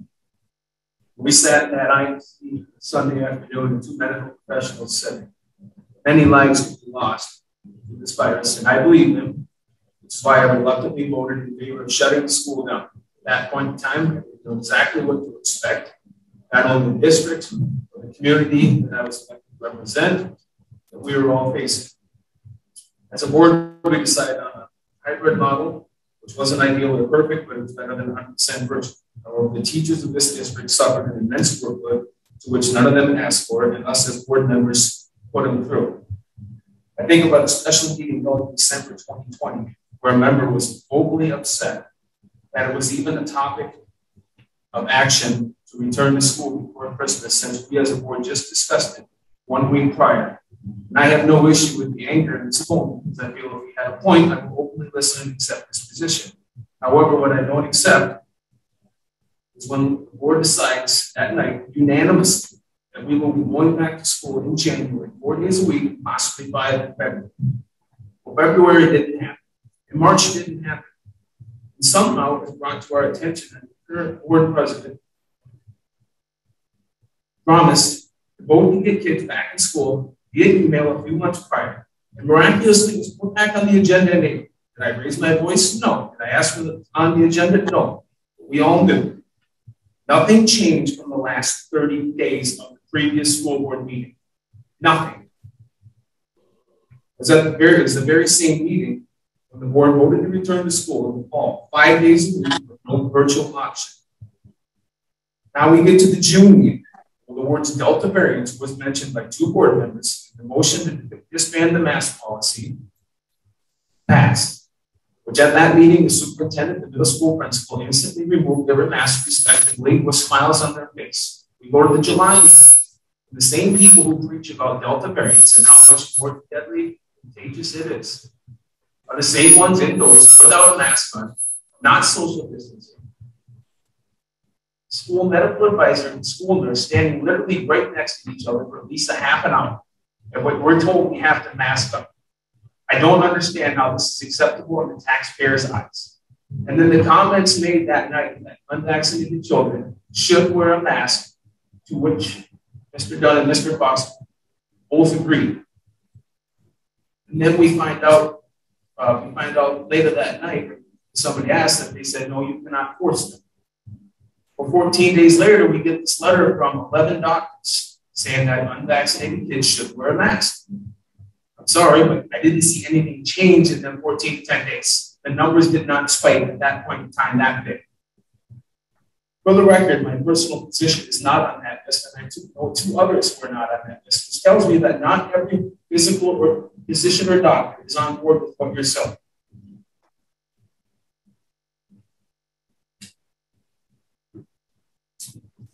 When maybe we should have done a public survey about what we think we should do, whether to put masks on students or not. Since the last one was done and it was continually ignored the results of what the public wanted, we didn't get that option this year, and I find that disappointing too. I'm on record asking in January the number of absent students due to flu, cold, bronchitis, strep throat, etc. And amazingly, the number was zero. Sadly, I bet the number is still zero because we were told that everything is presumed COVID. It's time to act as what we were elected to do. I sat in a candidate forum just like the rest of you. As much as some people won't believe it, I put education number one on my list of things that are necessary. I took the oath of a board member. The focus has been on children's education from day one and will remain the same. And people saying that board members don't care about children's safety is ridiculous. You don't know me if you actually believe that. I'm not going to give you CDC numbers because, quite frankly, I don't believe in any, but I am going to give you four numbers right now. The number 40, the number zero, and the number one. The number 40 stands for the amount of years I've lived in this community. The number zero represents the number of people that I know of that have passed away in the last 18 months due to this virus. Now, if somebody had passed away, it would have made mainstream news on the Democrat Tribune, but it never happened. The first one that passed away, I believe, from Mont, made front page news in the Dodgeville Chronicle. So it never happened. The last number is number one, and this is the one that's going to get ignored by a lot of people. Now, it's been talked about twice tonight by people up there, and Mr. Bush has referenced it lately, and quite frankly, I'm really disappointed that we sat this with Mr. Fox for over an hour. It has never been discussed. The number one represents the one person who lost their to COVID due to depression. This is a fact. There's a person who did what they were told. They trusted this person, trusted that person. Now, they didn't have it. So this is on them, not on the doctors, right? They took the recommendations. They didn't go out. They abandoned all their friends. They didn't want family to see them. They didn't want friends to see them.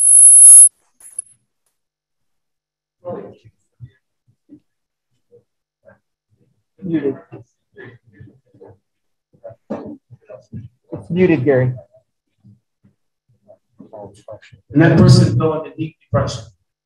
I watched it every day. You don't know how tough it is to sit in that hospital when your grandmother is dying of starvation because that's the only way she can get out of her depression due to everything that's taken away from her. I had to sit in that hospital before she died. I wanted to make sure I thanked her for everything she left me in this life, how much I love her. You people think I don't have compassion. You're wrong.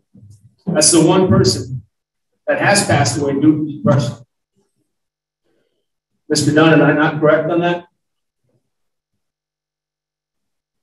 You can answer it. We said anybody brings up personal medical information, it's open topic in a board.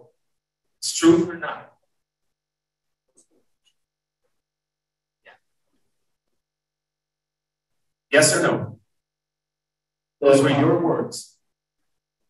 The cause of death was complicated, and we should talk about this offline, Gary. I'll, I'll let you make your statement. I did not get in this district for any political reason, but others in the district cannot look at themselves in a mirror and say the same thing. It irritates me when people who make recommendations can't see that they are not following their own recommendations in their own lives. It's all hypocrisy. And I'll leave you with this. People tell us to trust this or trust that. In my opinion, trust leaves you injured, depressed, or dead. I prefer the word truth. But the problem is when I speak truth in this community, there's certain people that hate me. That's disappointing. When I've lived in this community for 40 years and I'm proud to send my kids to this district, I will never tell anyone what is best for their child. I do believe it is not my business to tell anyone what's best for their child. I know a lot of people aren't being elected here, but we need to stop living in fear. We need to stop testing. We just need to get back to our lives and be happy. Thank you.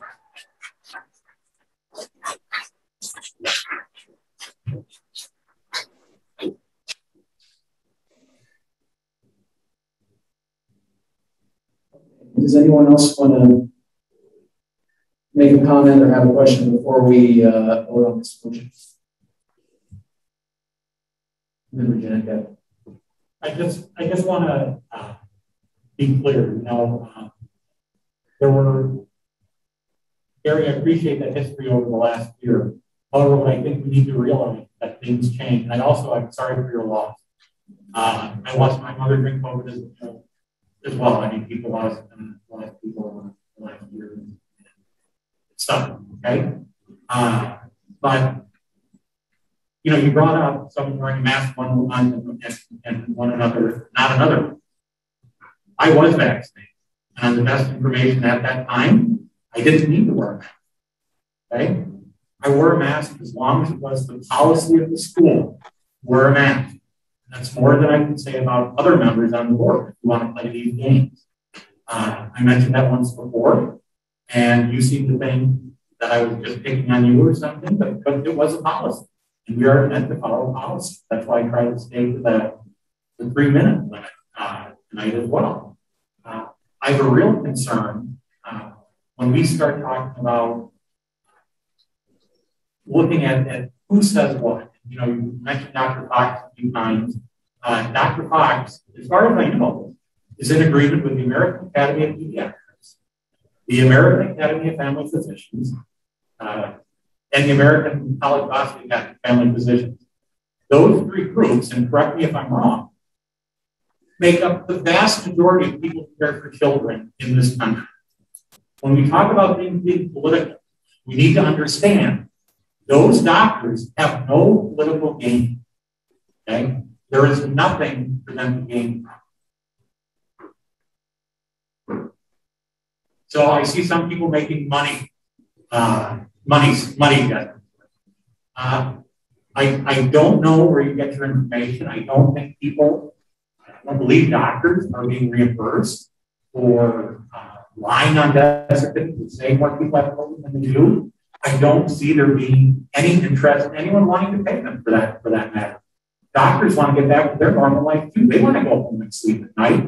You know, do you think they, they want to be in the hospital all the time? I, I don't quite understand it. I'm sorry if I'm getting a little off topic, but I think it's important when we just say, well, Dr. Fox said this, this is wrong. Actually, some people are saying is Fox, it's Dr. Fox. If you're, you're a professional, she, she studied hard, she went through many things, it's Dr. Fox. She's here as a medical professional. It's also Nurse Lindsay. She went to school. She worked hard. I worry about what we're telling our children. Why should they even go to school? Why should you go to school if the fruit of your education just having a bunch of people be angry? What, what's the point? What's the point of school? So I just want to say that out loud. Um, and I do think, again, I can't think of any primary care physician in the county that wasn't on that list, but I, I don't know on primary care. Uh, but I just I, I feel it's important to point out it's not just local doctors. We've some, some angry email that it's local liberal doctors who do this. And it's not. It is the entire profession of medicine. Uh, and it's not only in the United States, it's across the entire world. Okay? This is not just here. It's not just Iowa County. Nothing makes Mineral Point special. Keep that from coming. And that's that's all I have. I think it's hard to vote on this last on Andy's um, on Andy's motion uh, because we don't know what limits the uh, we can't really vote until we know what that's that's just okay. Thank you. Anyone else want to say a few words or ask a question before we call this to vote? Andy, I will, I will not be supporting the motion, and I wanted to talk a little bit about what I would like to see or what I be. I would like to see us accept the, the recommendation um, as presented, but with a few, a few modifications. I would like to see us remove the moderate line completely, and I would, so I would like us to have a kind of a low moderate category. I'm looking at the back page a low moderate category and then a um, substantial high category. So it's just an on or off for mask optimal versus masks required. And then I'd like that data to be focused on um, on the CDC zip code data as opposed to the countywide. Again, so that we're making decisions based on based on what we're seeing more local. Uh, I'm envisioning something closer to the Belmont approach. However, I do feel like we should be looking at positive cases even beyond the school walls. So I think that the one concern I had around the Belmont um, approach, um, and using that as an example, was that they were waiting for a number of positive cases within the school, whereas I would like to consider um, positive cases basically within community members in the actual school district. So that's what I'm hoping we can drive towards, um, and for that we can support it. But I do think we for the initiative in motion.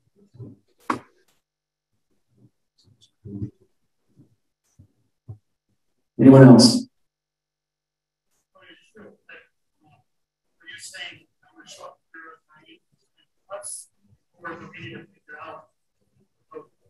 Uh, we need to figure out what those numbers should be for us. Um, So I asked Dr. Fox previously about the county and looking at those. So for our county low, is it zero to nine? For our county low is actually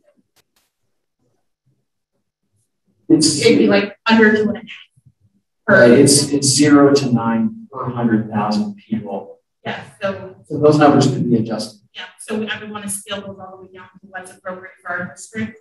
But I would like to keep the moderate column out completely and say low would be from zero to forty-nine, the equivalent size down. I'm afraid I'm not making that clear, but I do see some nods. Well, that's my motion.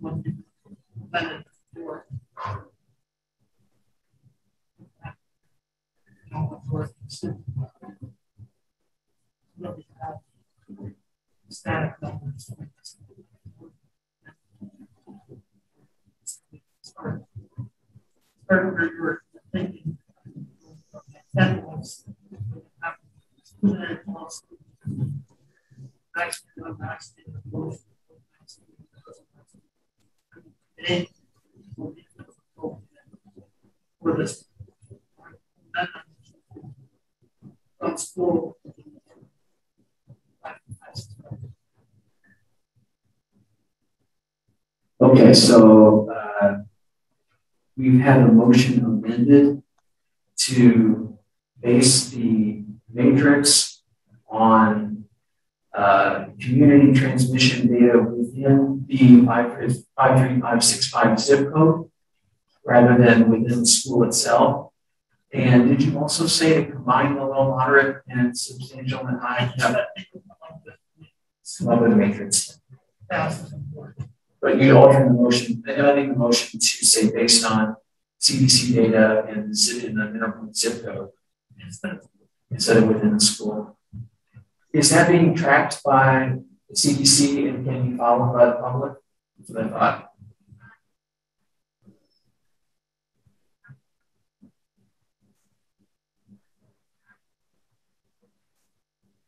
Left unmuted.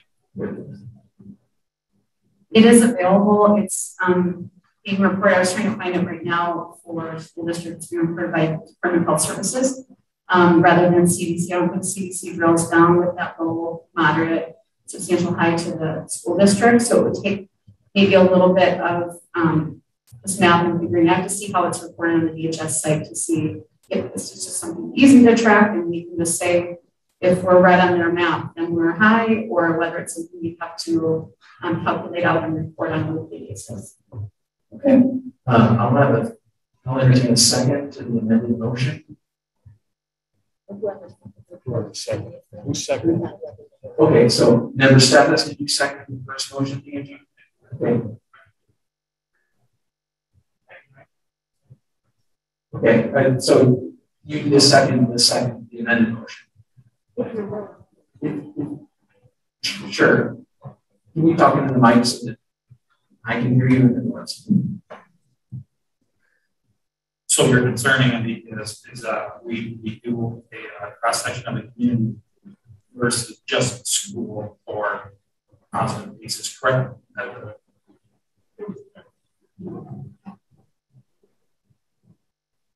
Okay, all right. This may this may never happen. First, I have to need clarification. So, would a PCR test be a positive test and then it would be tracked in the community?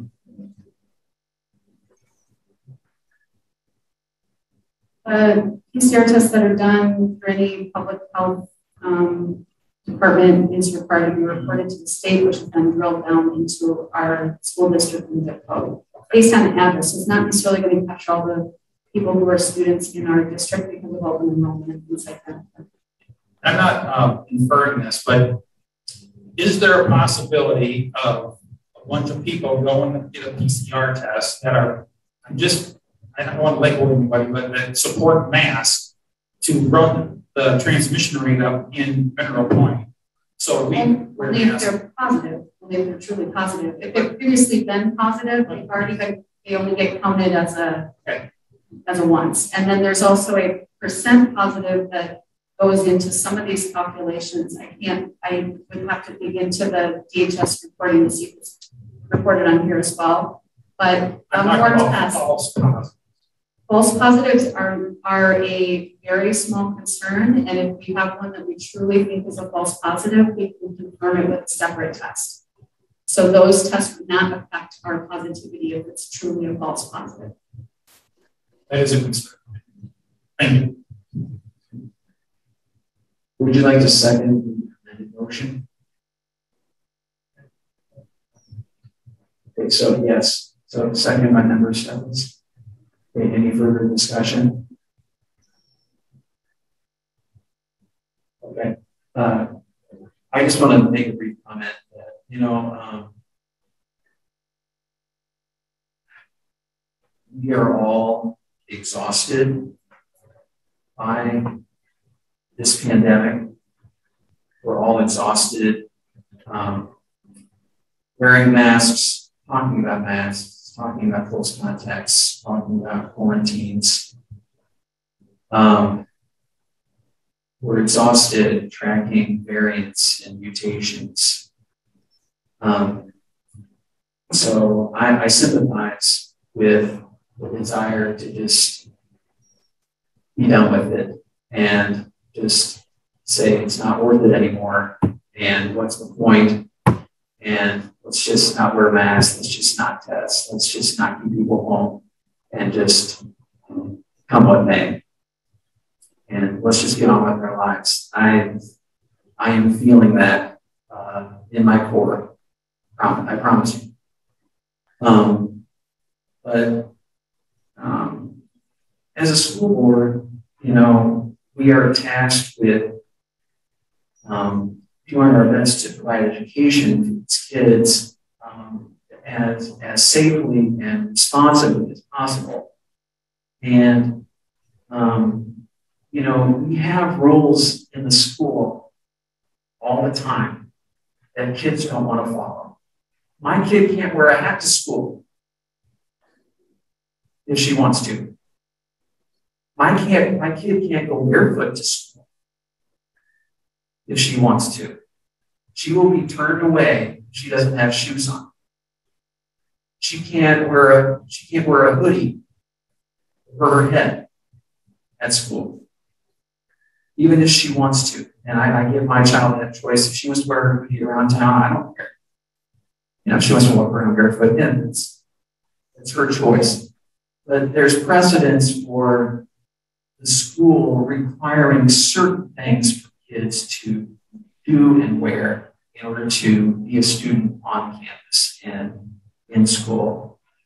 And unfortunately, we have to debate the, the merit and value of masks in terms of how much does it improve the safety of the school as a whole versus how much does it harm the student. And I'm contemplating, you know, worst case scenarios of universal masking versus optional or no masking. And if we have optional masking and we, and we all know that, you know, if it's optional masking, you know, maybe some will start school year wearing a mask, but eventually it'll, they'll come off. And there will be very little masking if optional masking is happening. And so that, that layer of, of risk prevention is essentially gone.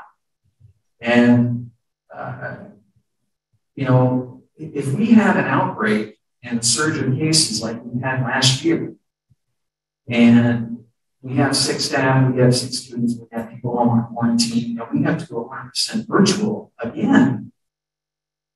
You know, I, I don't know if I can justify that risk, um, knowing that we all are sitting up here wanting kids to be in school as long as possible.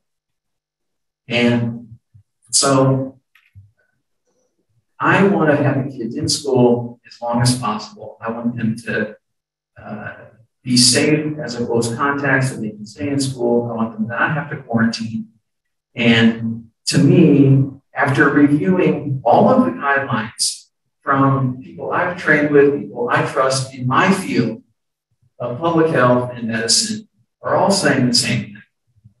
And that is if you are in a community where the transmission rate is high, like we're in right now, we need to do everything possible to mitigate spread so that it's not just keeping the kids safe, but it's keeping our community safe because it spreads at home and then it gets to people that are higher risk. And then we have problems. So if I'm, I'm looking at universal masking and what's the harms of that? Well, we, some kids don't want to wear masks. There's kids that, that need accommodations because of disabilities that we can work around. Um, you know, there's kids that are annoyed about having to wear a mask. I, I get all that. That's those are real issues.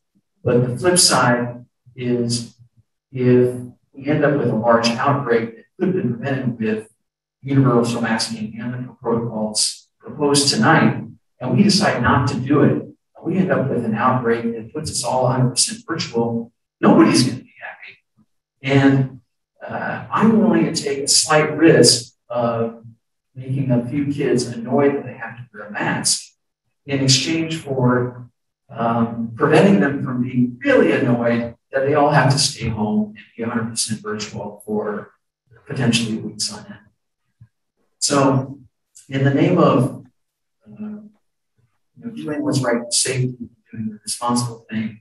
Um, I think any protocol we propose tonight has to include universal masking as long as we are still in a high transmission rate. And if we develop a matrix that allows us to make masks optional as the cases lower, and they will lower. You know, we're going to have a spike of the Delta variant cases, and it's going to go down like it's done everywhere else. We just have to do what's right right now ride out the surge of cases, and then as they start to come down, we can uh, look at removing some of these precautions. So um, that's my two cents, and uh, um, I'm not going to be supporting this motion because it, uh, it does not include that. So um, can we call a question, Angie, on this motion from Member Bush to um, to accept the masks optional protocol for vaccinated and unvaccinated students on page two. Um, development of a matrix um, for adjusting layers of measures based on uh, zip code uh, case data uh, and tasking uh, to have a matrix. Well, is that it, Andy? The matrix and the exposures, close contacts, and basically having masks optional, correct? Okay.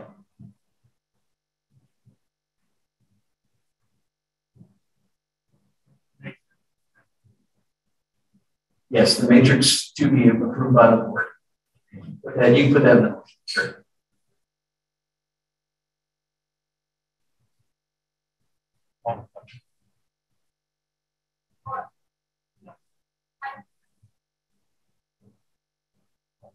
Sure. No.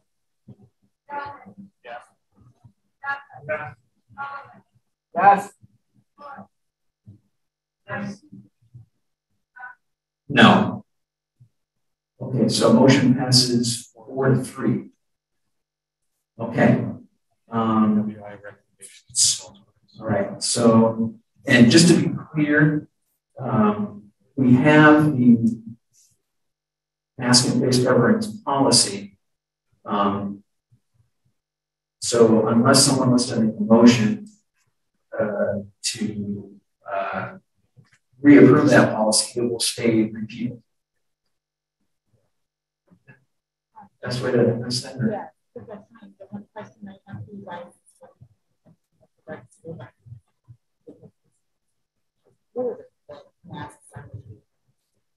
Okay. Okay, so um, the the question raised by our attorney is that uh, it's federal law to wear a mask on a school bus. Um, so we need a motion to approve that uh, policy. Your, your sorry. So there, there is no federal law or state law that requires the school district to adopt a mask mandate indoors on um, in any other location or event other than a public school bus. The CDC has ordered that public school buses are public. I did not say that it was a law, sir. I said that it was an order from the CDC that the public school buses are treated like public transportation. And therefore, in the event that you do not adopt a mask mandate in your buses, you will be in violation of the CDC's order. And my concern is not necessarily that you will be penalized by the CDC or federal government, but I am concerned about your insurance coverage for any transmission that occurs on the school bus. Because I have been speaking with a number of insurance companies that provide insurance coverage for school districts across the state. And in the event that you are not at least adopting a mask mandate on your school buses, you will likely not have coverage for any such damages that occur. So my recommendation to you is to consider the risk associated with not adopting a mask mandate on your public school buses and then make that decision based on those risks. I'll make a motion that based on the CDC order, all students staff are required to wear masks at the buses. And then it's school district owned vehicles unless they're going Okay, can I have a second? Okay, second from Sullivan. Any discussion?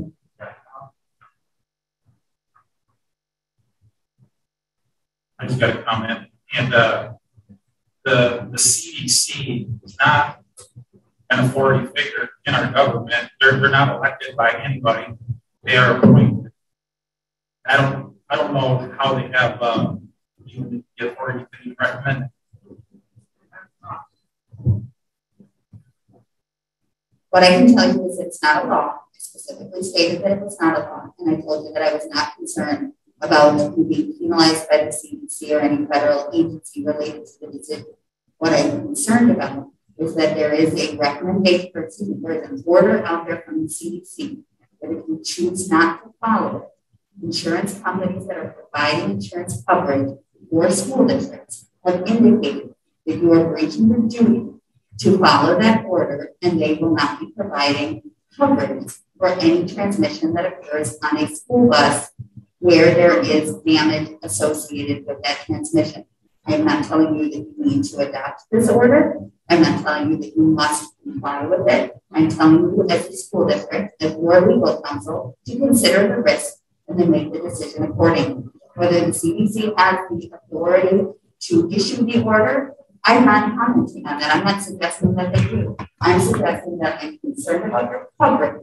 And in the event that there is a claim, you will be paying for those damages from the school district's offers as opposed to the insurance coverage that you pay for on a regular basis.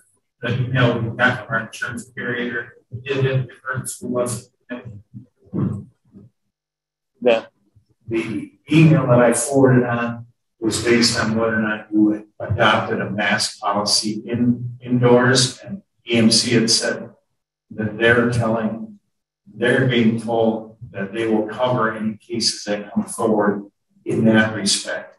But the buses, I, I have seen things from Strang Patteson, I've seen things from uh, Mike Julka works for it. Boardman Clark, thank you. That that you do risk your liability if you're not following those guidelines and recommendations on school transportation. Sure, sure. And I really don't have a problem with kids wearing a mask on a bus, but when you have, uh, it's hard to find bus drivers, and some of our bus drivers are getting up there in uh, age, and a lot of them are wearing glasses, and you expect them to put a mask on. Damn morning, they're they're driving around the most precious cargo in the community, and here we are limiting their vision.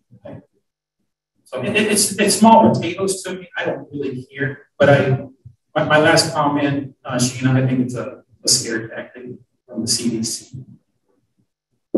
Any other comments or questions on this motion? Just on the, the, the topic of insurance, uh, you'll find out they won't cover it when it happens. That's when you find out. That's when insurance companies decide not to cover something that happened because you weren't asking. That's when you'll find out. And if, if you don't, that's, that's just how insurance works. Any other comments or questions on this motion? Okay, Angie, can you call the question? But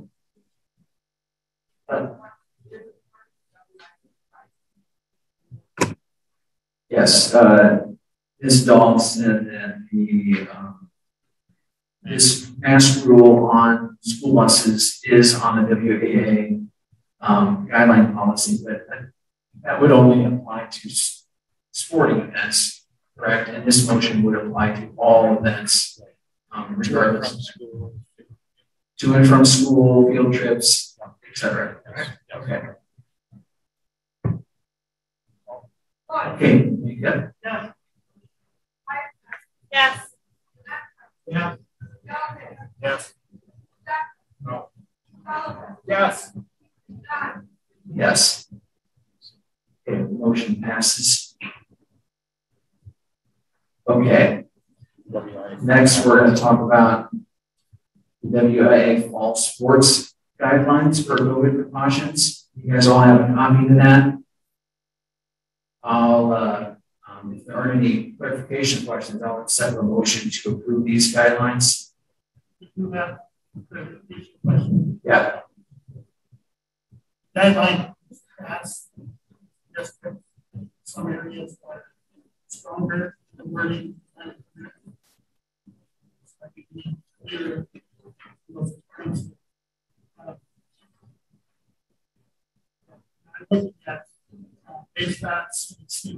guidelines, three actually give these the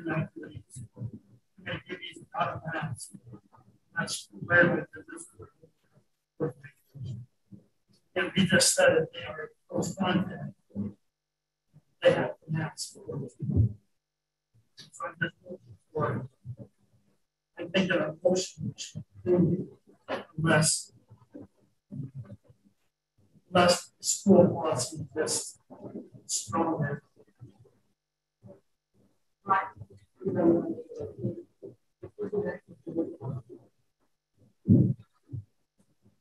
In speaking with the WIAA, they did mention local control.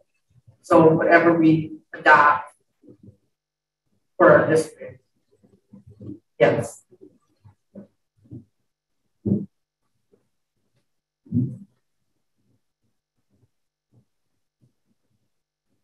So, Member Bush, you want to make that motion that we approve the guidelines, uh, except when our protocol supersedes the season? Would that be in their verbiage? I'll make a motion that we adopt the guidelines for 2021 seasons. Follow coming less.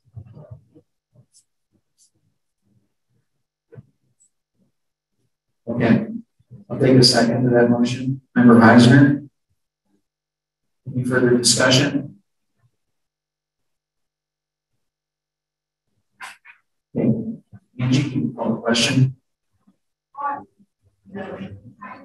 Yes. Yes. Yes. Yes. Okay. Um, before, then I just have one quick question. Do we need to um, now look at the chart of when masking is required based on based on the 53565 area code or zip code? You mean like in terms of developing a uh, matrix? Yes. Yes, I think that we can either decide to uh, put that together now in conjunction with the admin team and the medical team, or we could um, task it to the admin team and have them present a matrix to the board for approval.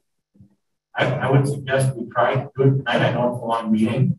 I would suggest we try to do it tonight because school starts um, first of September. Many parents have already complained that they don't know what our policy is to start the school year. Okay. Um, so in essence, right now there is no policy. there's no major or anything. Right. Um, so, I mean, the, current we are currently in a high state transmission based on the zip code data. So, um, and I anticipate we we're going to be there for a few weeks.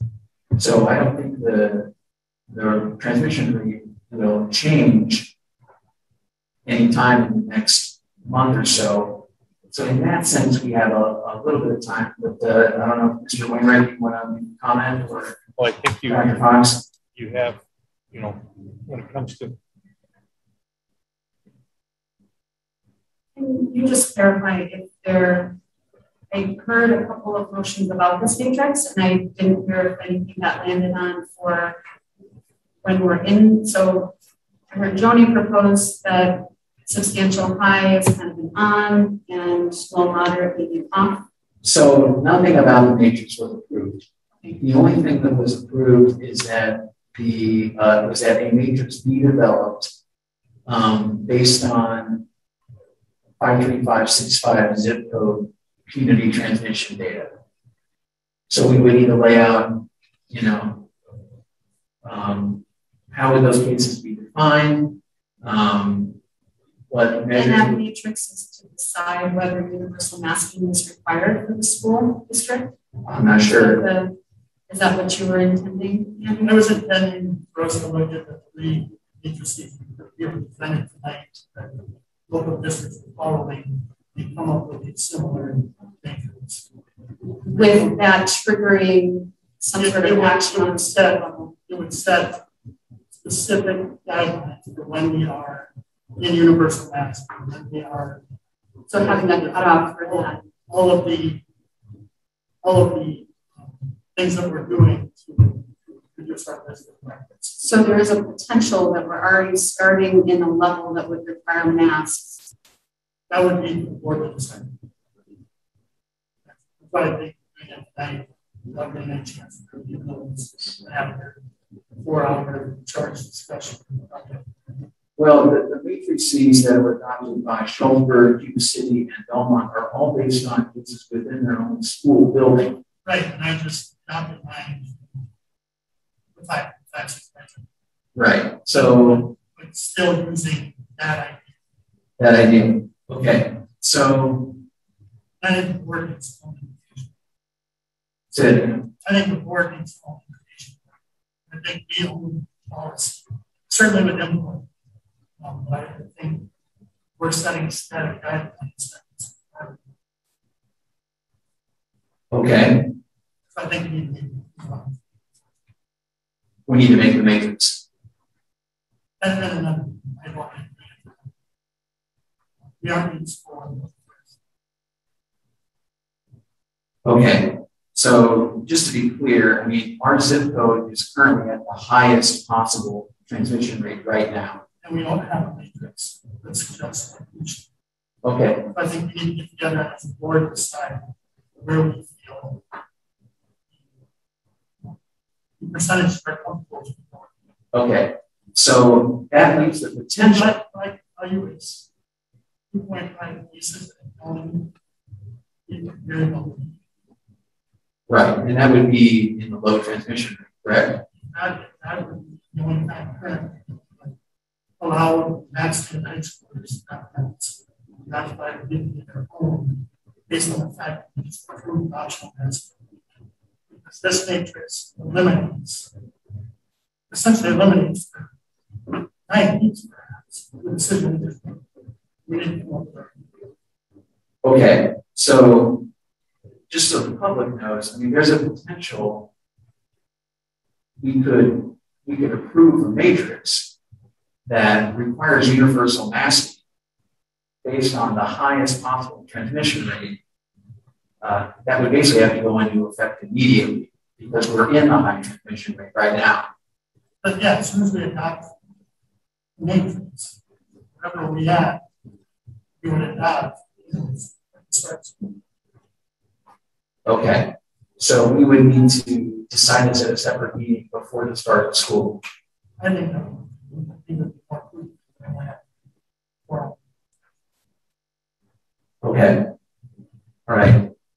Um, I think the other thing to, I think the other thing we need to consider is, you know, we've had a lot of comments from parents that if we don't have universal masking and we don't offer a virtual option to start the school year, they're going to find someplace else to educate their children. So now that we don't have a universal mask policy, we need to talk about whether we should offer a virtual option so these parents keep their kids in our school district. We- We've heard quite a bit tonight about parents will pull their kids. If we have a masking policy, a mandatory mask policy, and if we don't have a mandatory mask policy, and I've also heard a lot of concerns from parents that it's already late. We're making the decision tonight, they were mad we make the decision that a couple weeks ago, the school started soon. So point, I, I just think we owe it to our community, for them to really know what's going to be happening going forward.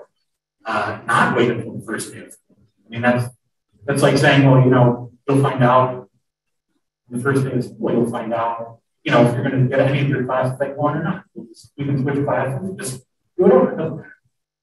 That's my concern. Absolutely. And, you know, teacher orientation starts tomorrow, I understand. So, um, staff needs to be aware if, if we're going to offer a virtual option to keep families from leaving the school district, I think we need to discuss that now. This plan already offer that? No, this plan offers when we would pivot to virtual based on 30% absenteeism rate or inadequate staffing. It does not offer families to start the school year 100% virtual like we did all of last year.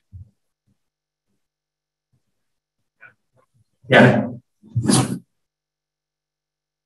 Just decided to virtual understand it took us several months to prepare for the virtual option last year. So we were hiring interns, uh, teaching interns uh, about six months ahead of time. Uh, unless we are looking to hire additional staff, I just I don't see how virtual instruction will be possible. Just all weigh in.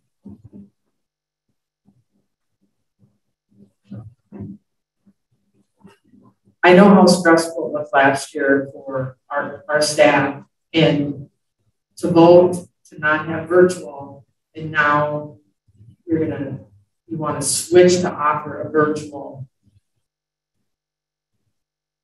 Our staff is just gonna lose it. You know, I mean, it's it's it's very stressful. Yeah, you know, it's considered to be part of their jobs, but as a board, to agree not to have a virtual option. And now school starts September 1st, and then they're going to scramble to get ready. That, that's a lot to, to ask. I would agree. Uh, that would be a lot put on a plate, uh, basically seven days out.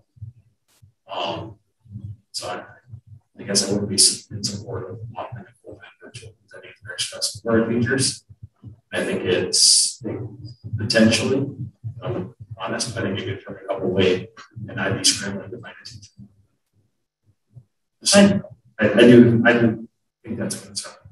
I just want to point out in my motion, was out on of both sides, is that I rate the fact that you might lose 40 kids out of our district with either motion if we didn't find a compromise.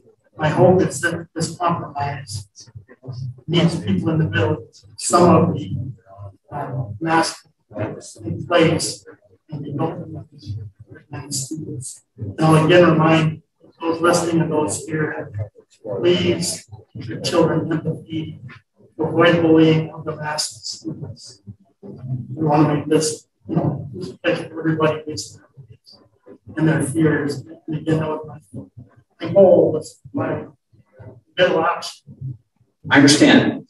Yeah, I just want the board to be clear that if we pass a universal mask policy, we really have no recourse to keep parents from leaving. But if we pass an optional mask policy, we have a recourse by offering parents parents a safe option for their kids who are concerned.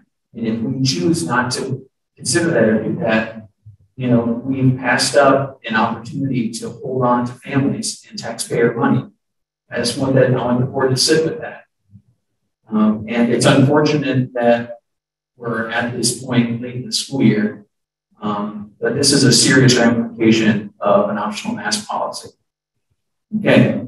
Um, without any other action items, uh, I think we need to consider a special meeting to uh, develop a, a uh, board matrix of uh, layered measures. So um, we should have it as soon as possible, probably tomorrow night. You post it. So we need how much notice? 24 hours notice. So we can have it as soon as Wednesday night. Angie, yes? Oh, 24 hours. Thank you. Mitch, is it possible to contact those schools and identify school populations and know what percent they're using? One of them is based on percent, two of them I believe are based on the number, you know, in the cities, it's number by building. I'd like to know what percent. With, with some um, recommendation that maybe the will not be reinvented, there's cutoffs here that were proposed by another board member that could be tailored to our code. So we can have a case rate per week per 100,000 of 536, 53565. And you could set the mask mandate mask optional at a rate tonight based on a chart like this.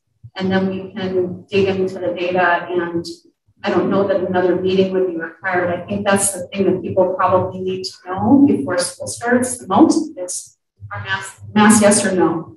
And so if you can say, based on our case rates, um, you know, if we are in substantial or high, we're going to start the year mask. And when we drop down to moderate to low moderate, then we are going to make mask optional. That could be, you know, a solution that would give people some information tonight that would not require then a special meeting to hash out the mask part of it, but maybe a special meeting to hash out any additional things in the policy that were not discussed tonight. Because there was a lot of other policy things in this handout that weren't discussed at all. So, um, and whether that would change or shift with the different levels. I understand and appreciate that. I think we can use this, but I don't think this chart is a massive optional chart.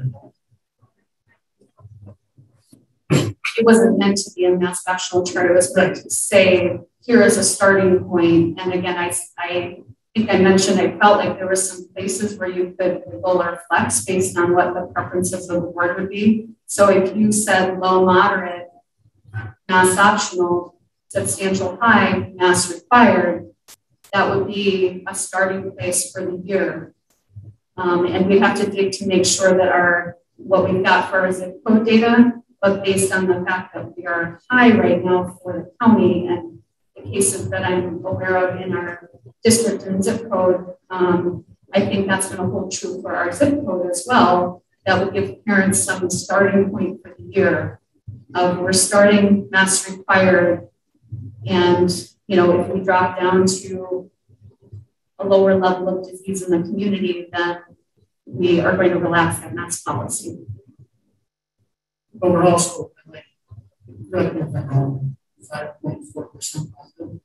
So the percent, you don't have to, you could, you could just, so this is the CDC definition of low, moderate, substantial, right. high. And if either one is above, then it throws you into a higher category. Um, so, you know, if you have only 10 cases per 100,000, but you have greater than 10% positive, you're probably missing a lot. So that should put you in that high risk. You could take out the percent positive and yeah, maybe even take out the, you know, the quarantine policy at the bottom and just have it be a mask policy with low and moderate being one being mask optional substantial high being mask required, universal masking. um, and have the cutoffs be school district or 53565 specific. That's that's the easiest way to break it down. Is we're looking at the data. The school district data is going to be little tricky to get actual numbers that we can track. So the school district the uh, zip code data is um, available and very trackable this way.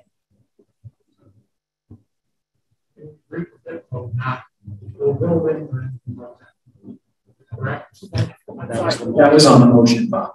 Yeah.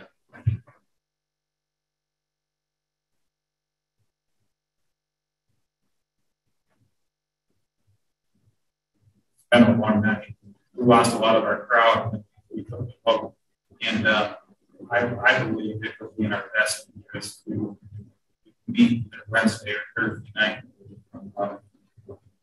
Couple of bases. Um, you get the information from area schools and that percent of what Andy referring to. Okay. Well, if if no one would like to make a motion to approve a preliminary matrix as proposed by Dr. Fox, which basically includes area specific case rates and masks only, combining low and moderate, substantial and high, getting rid of quarantine adjustments. If no one wants to make that motion. I'm not saying I'm for not an. Yes, because it's on the COVID protocol action item. Good question. Now we're kind of backtracking a little bit, but it is on the action on the agenda. I will make that motion. Okay, we've got a motion from member Janetka to, sorry, to, uh, do you want to clarify? Um, to Yeah. adopt the preliminary matrix. To adopt the preliminary matrix uh, with low and moderate, four five three five six five zip code only, being mask optional.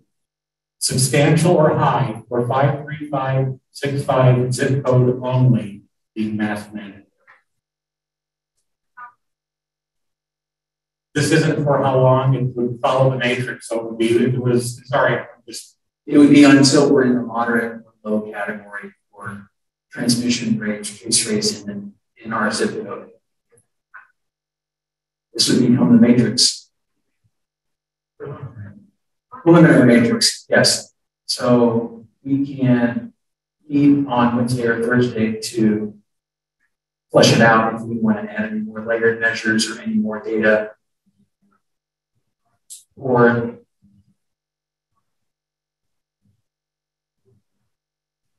I can't hear anybody.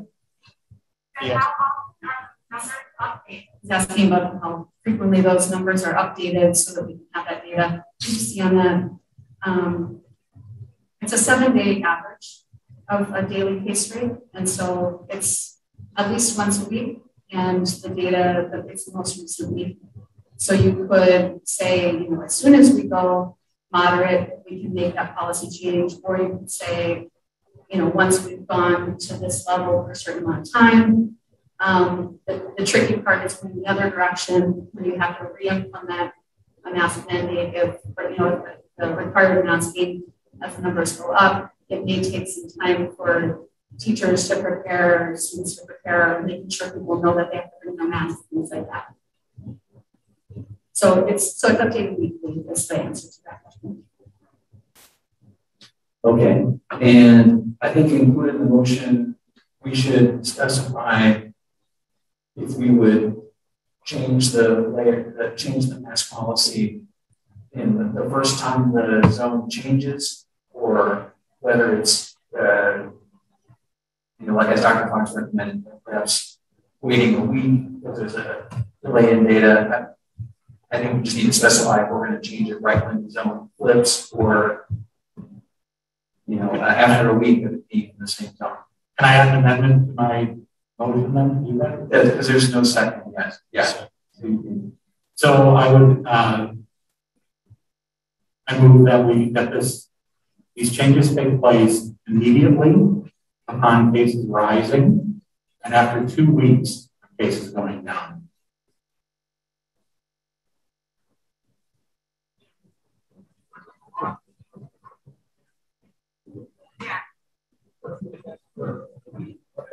Right? But it's it's really something that we're trying to decide for the sake of parents and teachers, specifically parents that are considering whether to open enroll their children to other districts or find a virtual option.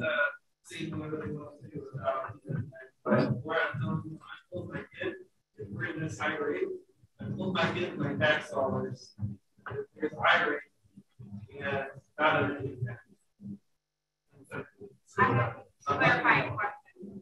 Well, we, I don't think we can allow any public comment right now, but uh, um, uh, I'm, I'm sorry.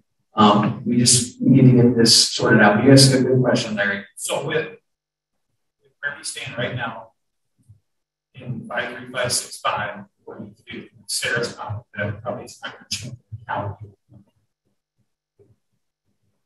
We will be starting school with masks. If this motion passes. So, One thing, Larry, looking at the county level, looking at the county level, so not our zip code, um, I went, I was able to quickly go back to April. And since in the last 16 weeks, Dave, this was, this was rough, we would only have two weeks where we would have been in that, in that masking zone, but it would be the last two weeks where we had 32 and 35 cases at the county level. So that, but that's county, I can quickly do the zip code piece. my concern with the numbers that are at one family for population. With, with us. We, we have. That's, that's not true. Does anybody know that the population is in I'm assuming at least 100 people.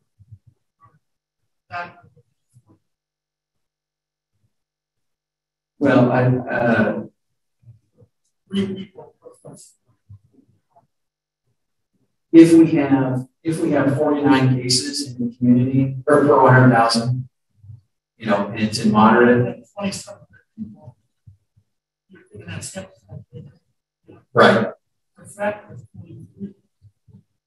people. You're thinking that's steps.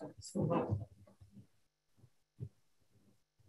The fact is. Okay, the population of 53565 is 4765. So, so per 100,000, that's 20, a factor of 20.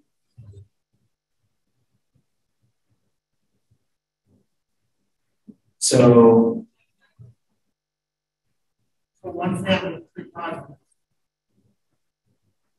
That, that's where my concern is with this. This people. So you would set the threshold higher, and you could, you could say, well, maybe, that's, that's what I'm at. yeah. So you, I mean, these are, these are based on, again, that CDC county level data. Um, but, you know, if you said, well, three cases doesn't sound bad to me in, in our school district.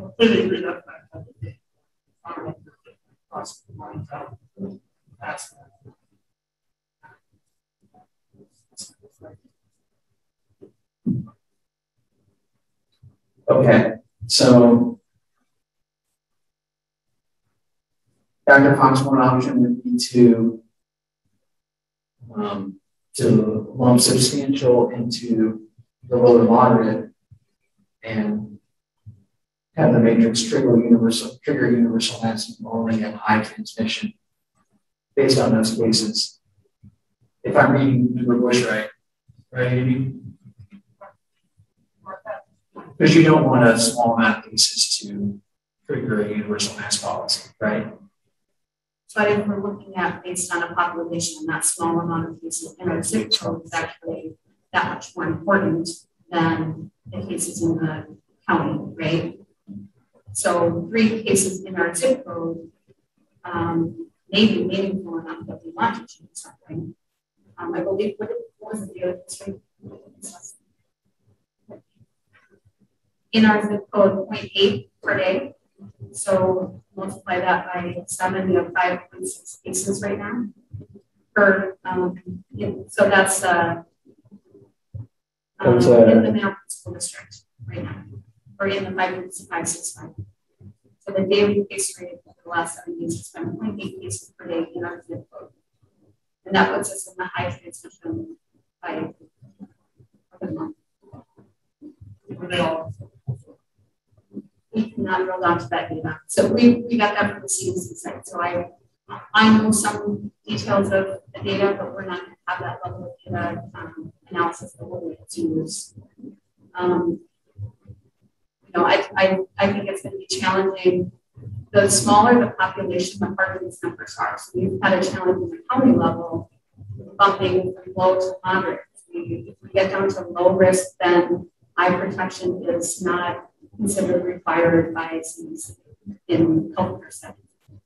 Well, low risk in our county is very, very low in terms of number of cases because have such a low population compared to urban center. So um, the smaller you make that pool of people, the more cases are going to make the numbers fluctuate.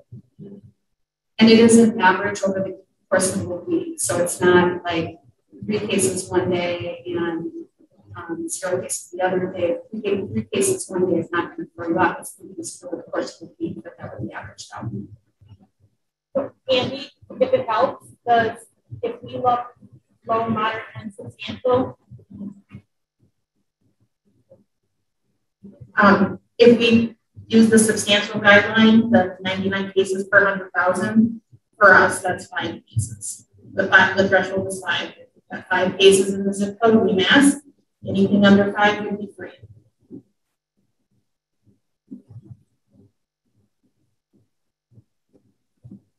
Okay, Bob, you want to keep your motion as is?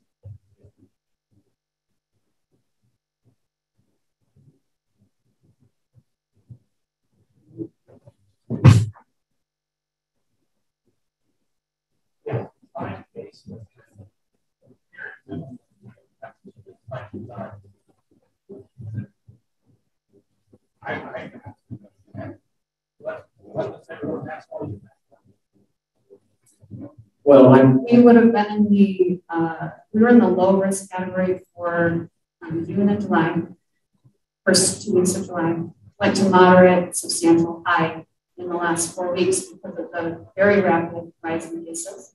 So if we look back, like Joni said, it would have been um, potentially based on county data. And so that was where you may be better off using county data because it's a little bit larger population. Um, we would have spent most of the spring in that lower moderate risk and even substantial. If you include that, that would have been um, probably from just guessing my numbers, probably from late February through the end of school year would have been all in that um, optional masking if you set that cutoff at that high risk.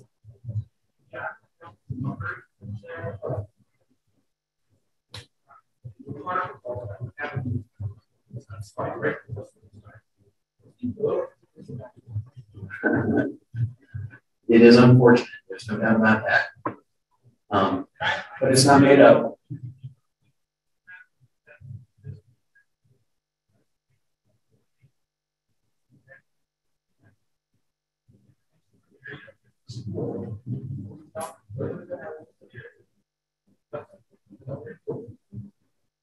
Okay, well, That's, that's not.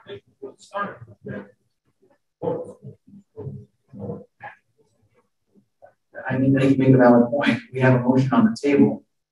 Um, if anyone's second, uh, having a vote on preliminary matrix tonight. I'll second it. Okay, so any further discussion on this motion of a preliminary matrix? Okay, Angie, call the question. Yeah. No. No. No. Yes. Yes. Okay, so that motion fails. So, but, so go ahead.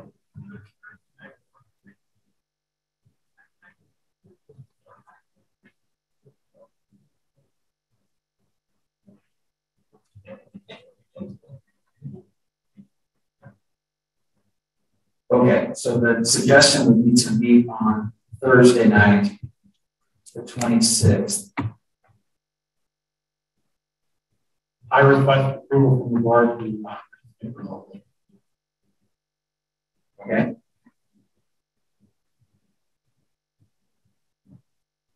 Um, can we agree on the, on Thursday the twenty-sixth? Is everyone okay with that? Okay, so we'll have a special meeting, uh, back here, uh, six thirty on the evening of Thursday the twenty-sixth. And, um, do we approve Beverage Ag's request to join remotely? I think we, should- we had like an emergency pandemic policy that allowed any board member to join remotely. Correct. So you don't need to approve it because you're still under that pandemic. Yeah, so any board member can join remotely. We'll probably be in the library and I'll set up a Zoom. Okay, Tentatively will be held in the library. Okay, and we'll have a, a Zoom option for people to participate from home. And we will have a public comment period. Okay. Um, all right, uh, motion to adjourn. Steffes, second. Eisner, all in favor? Anyone opposed? Thank you all for coming. Thank you online.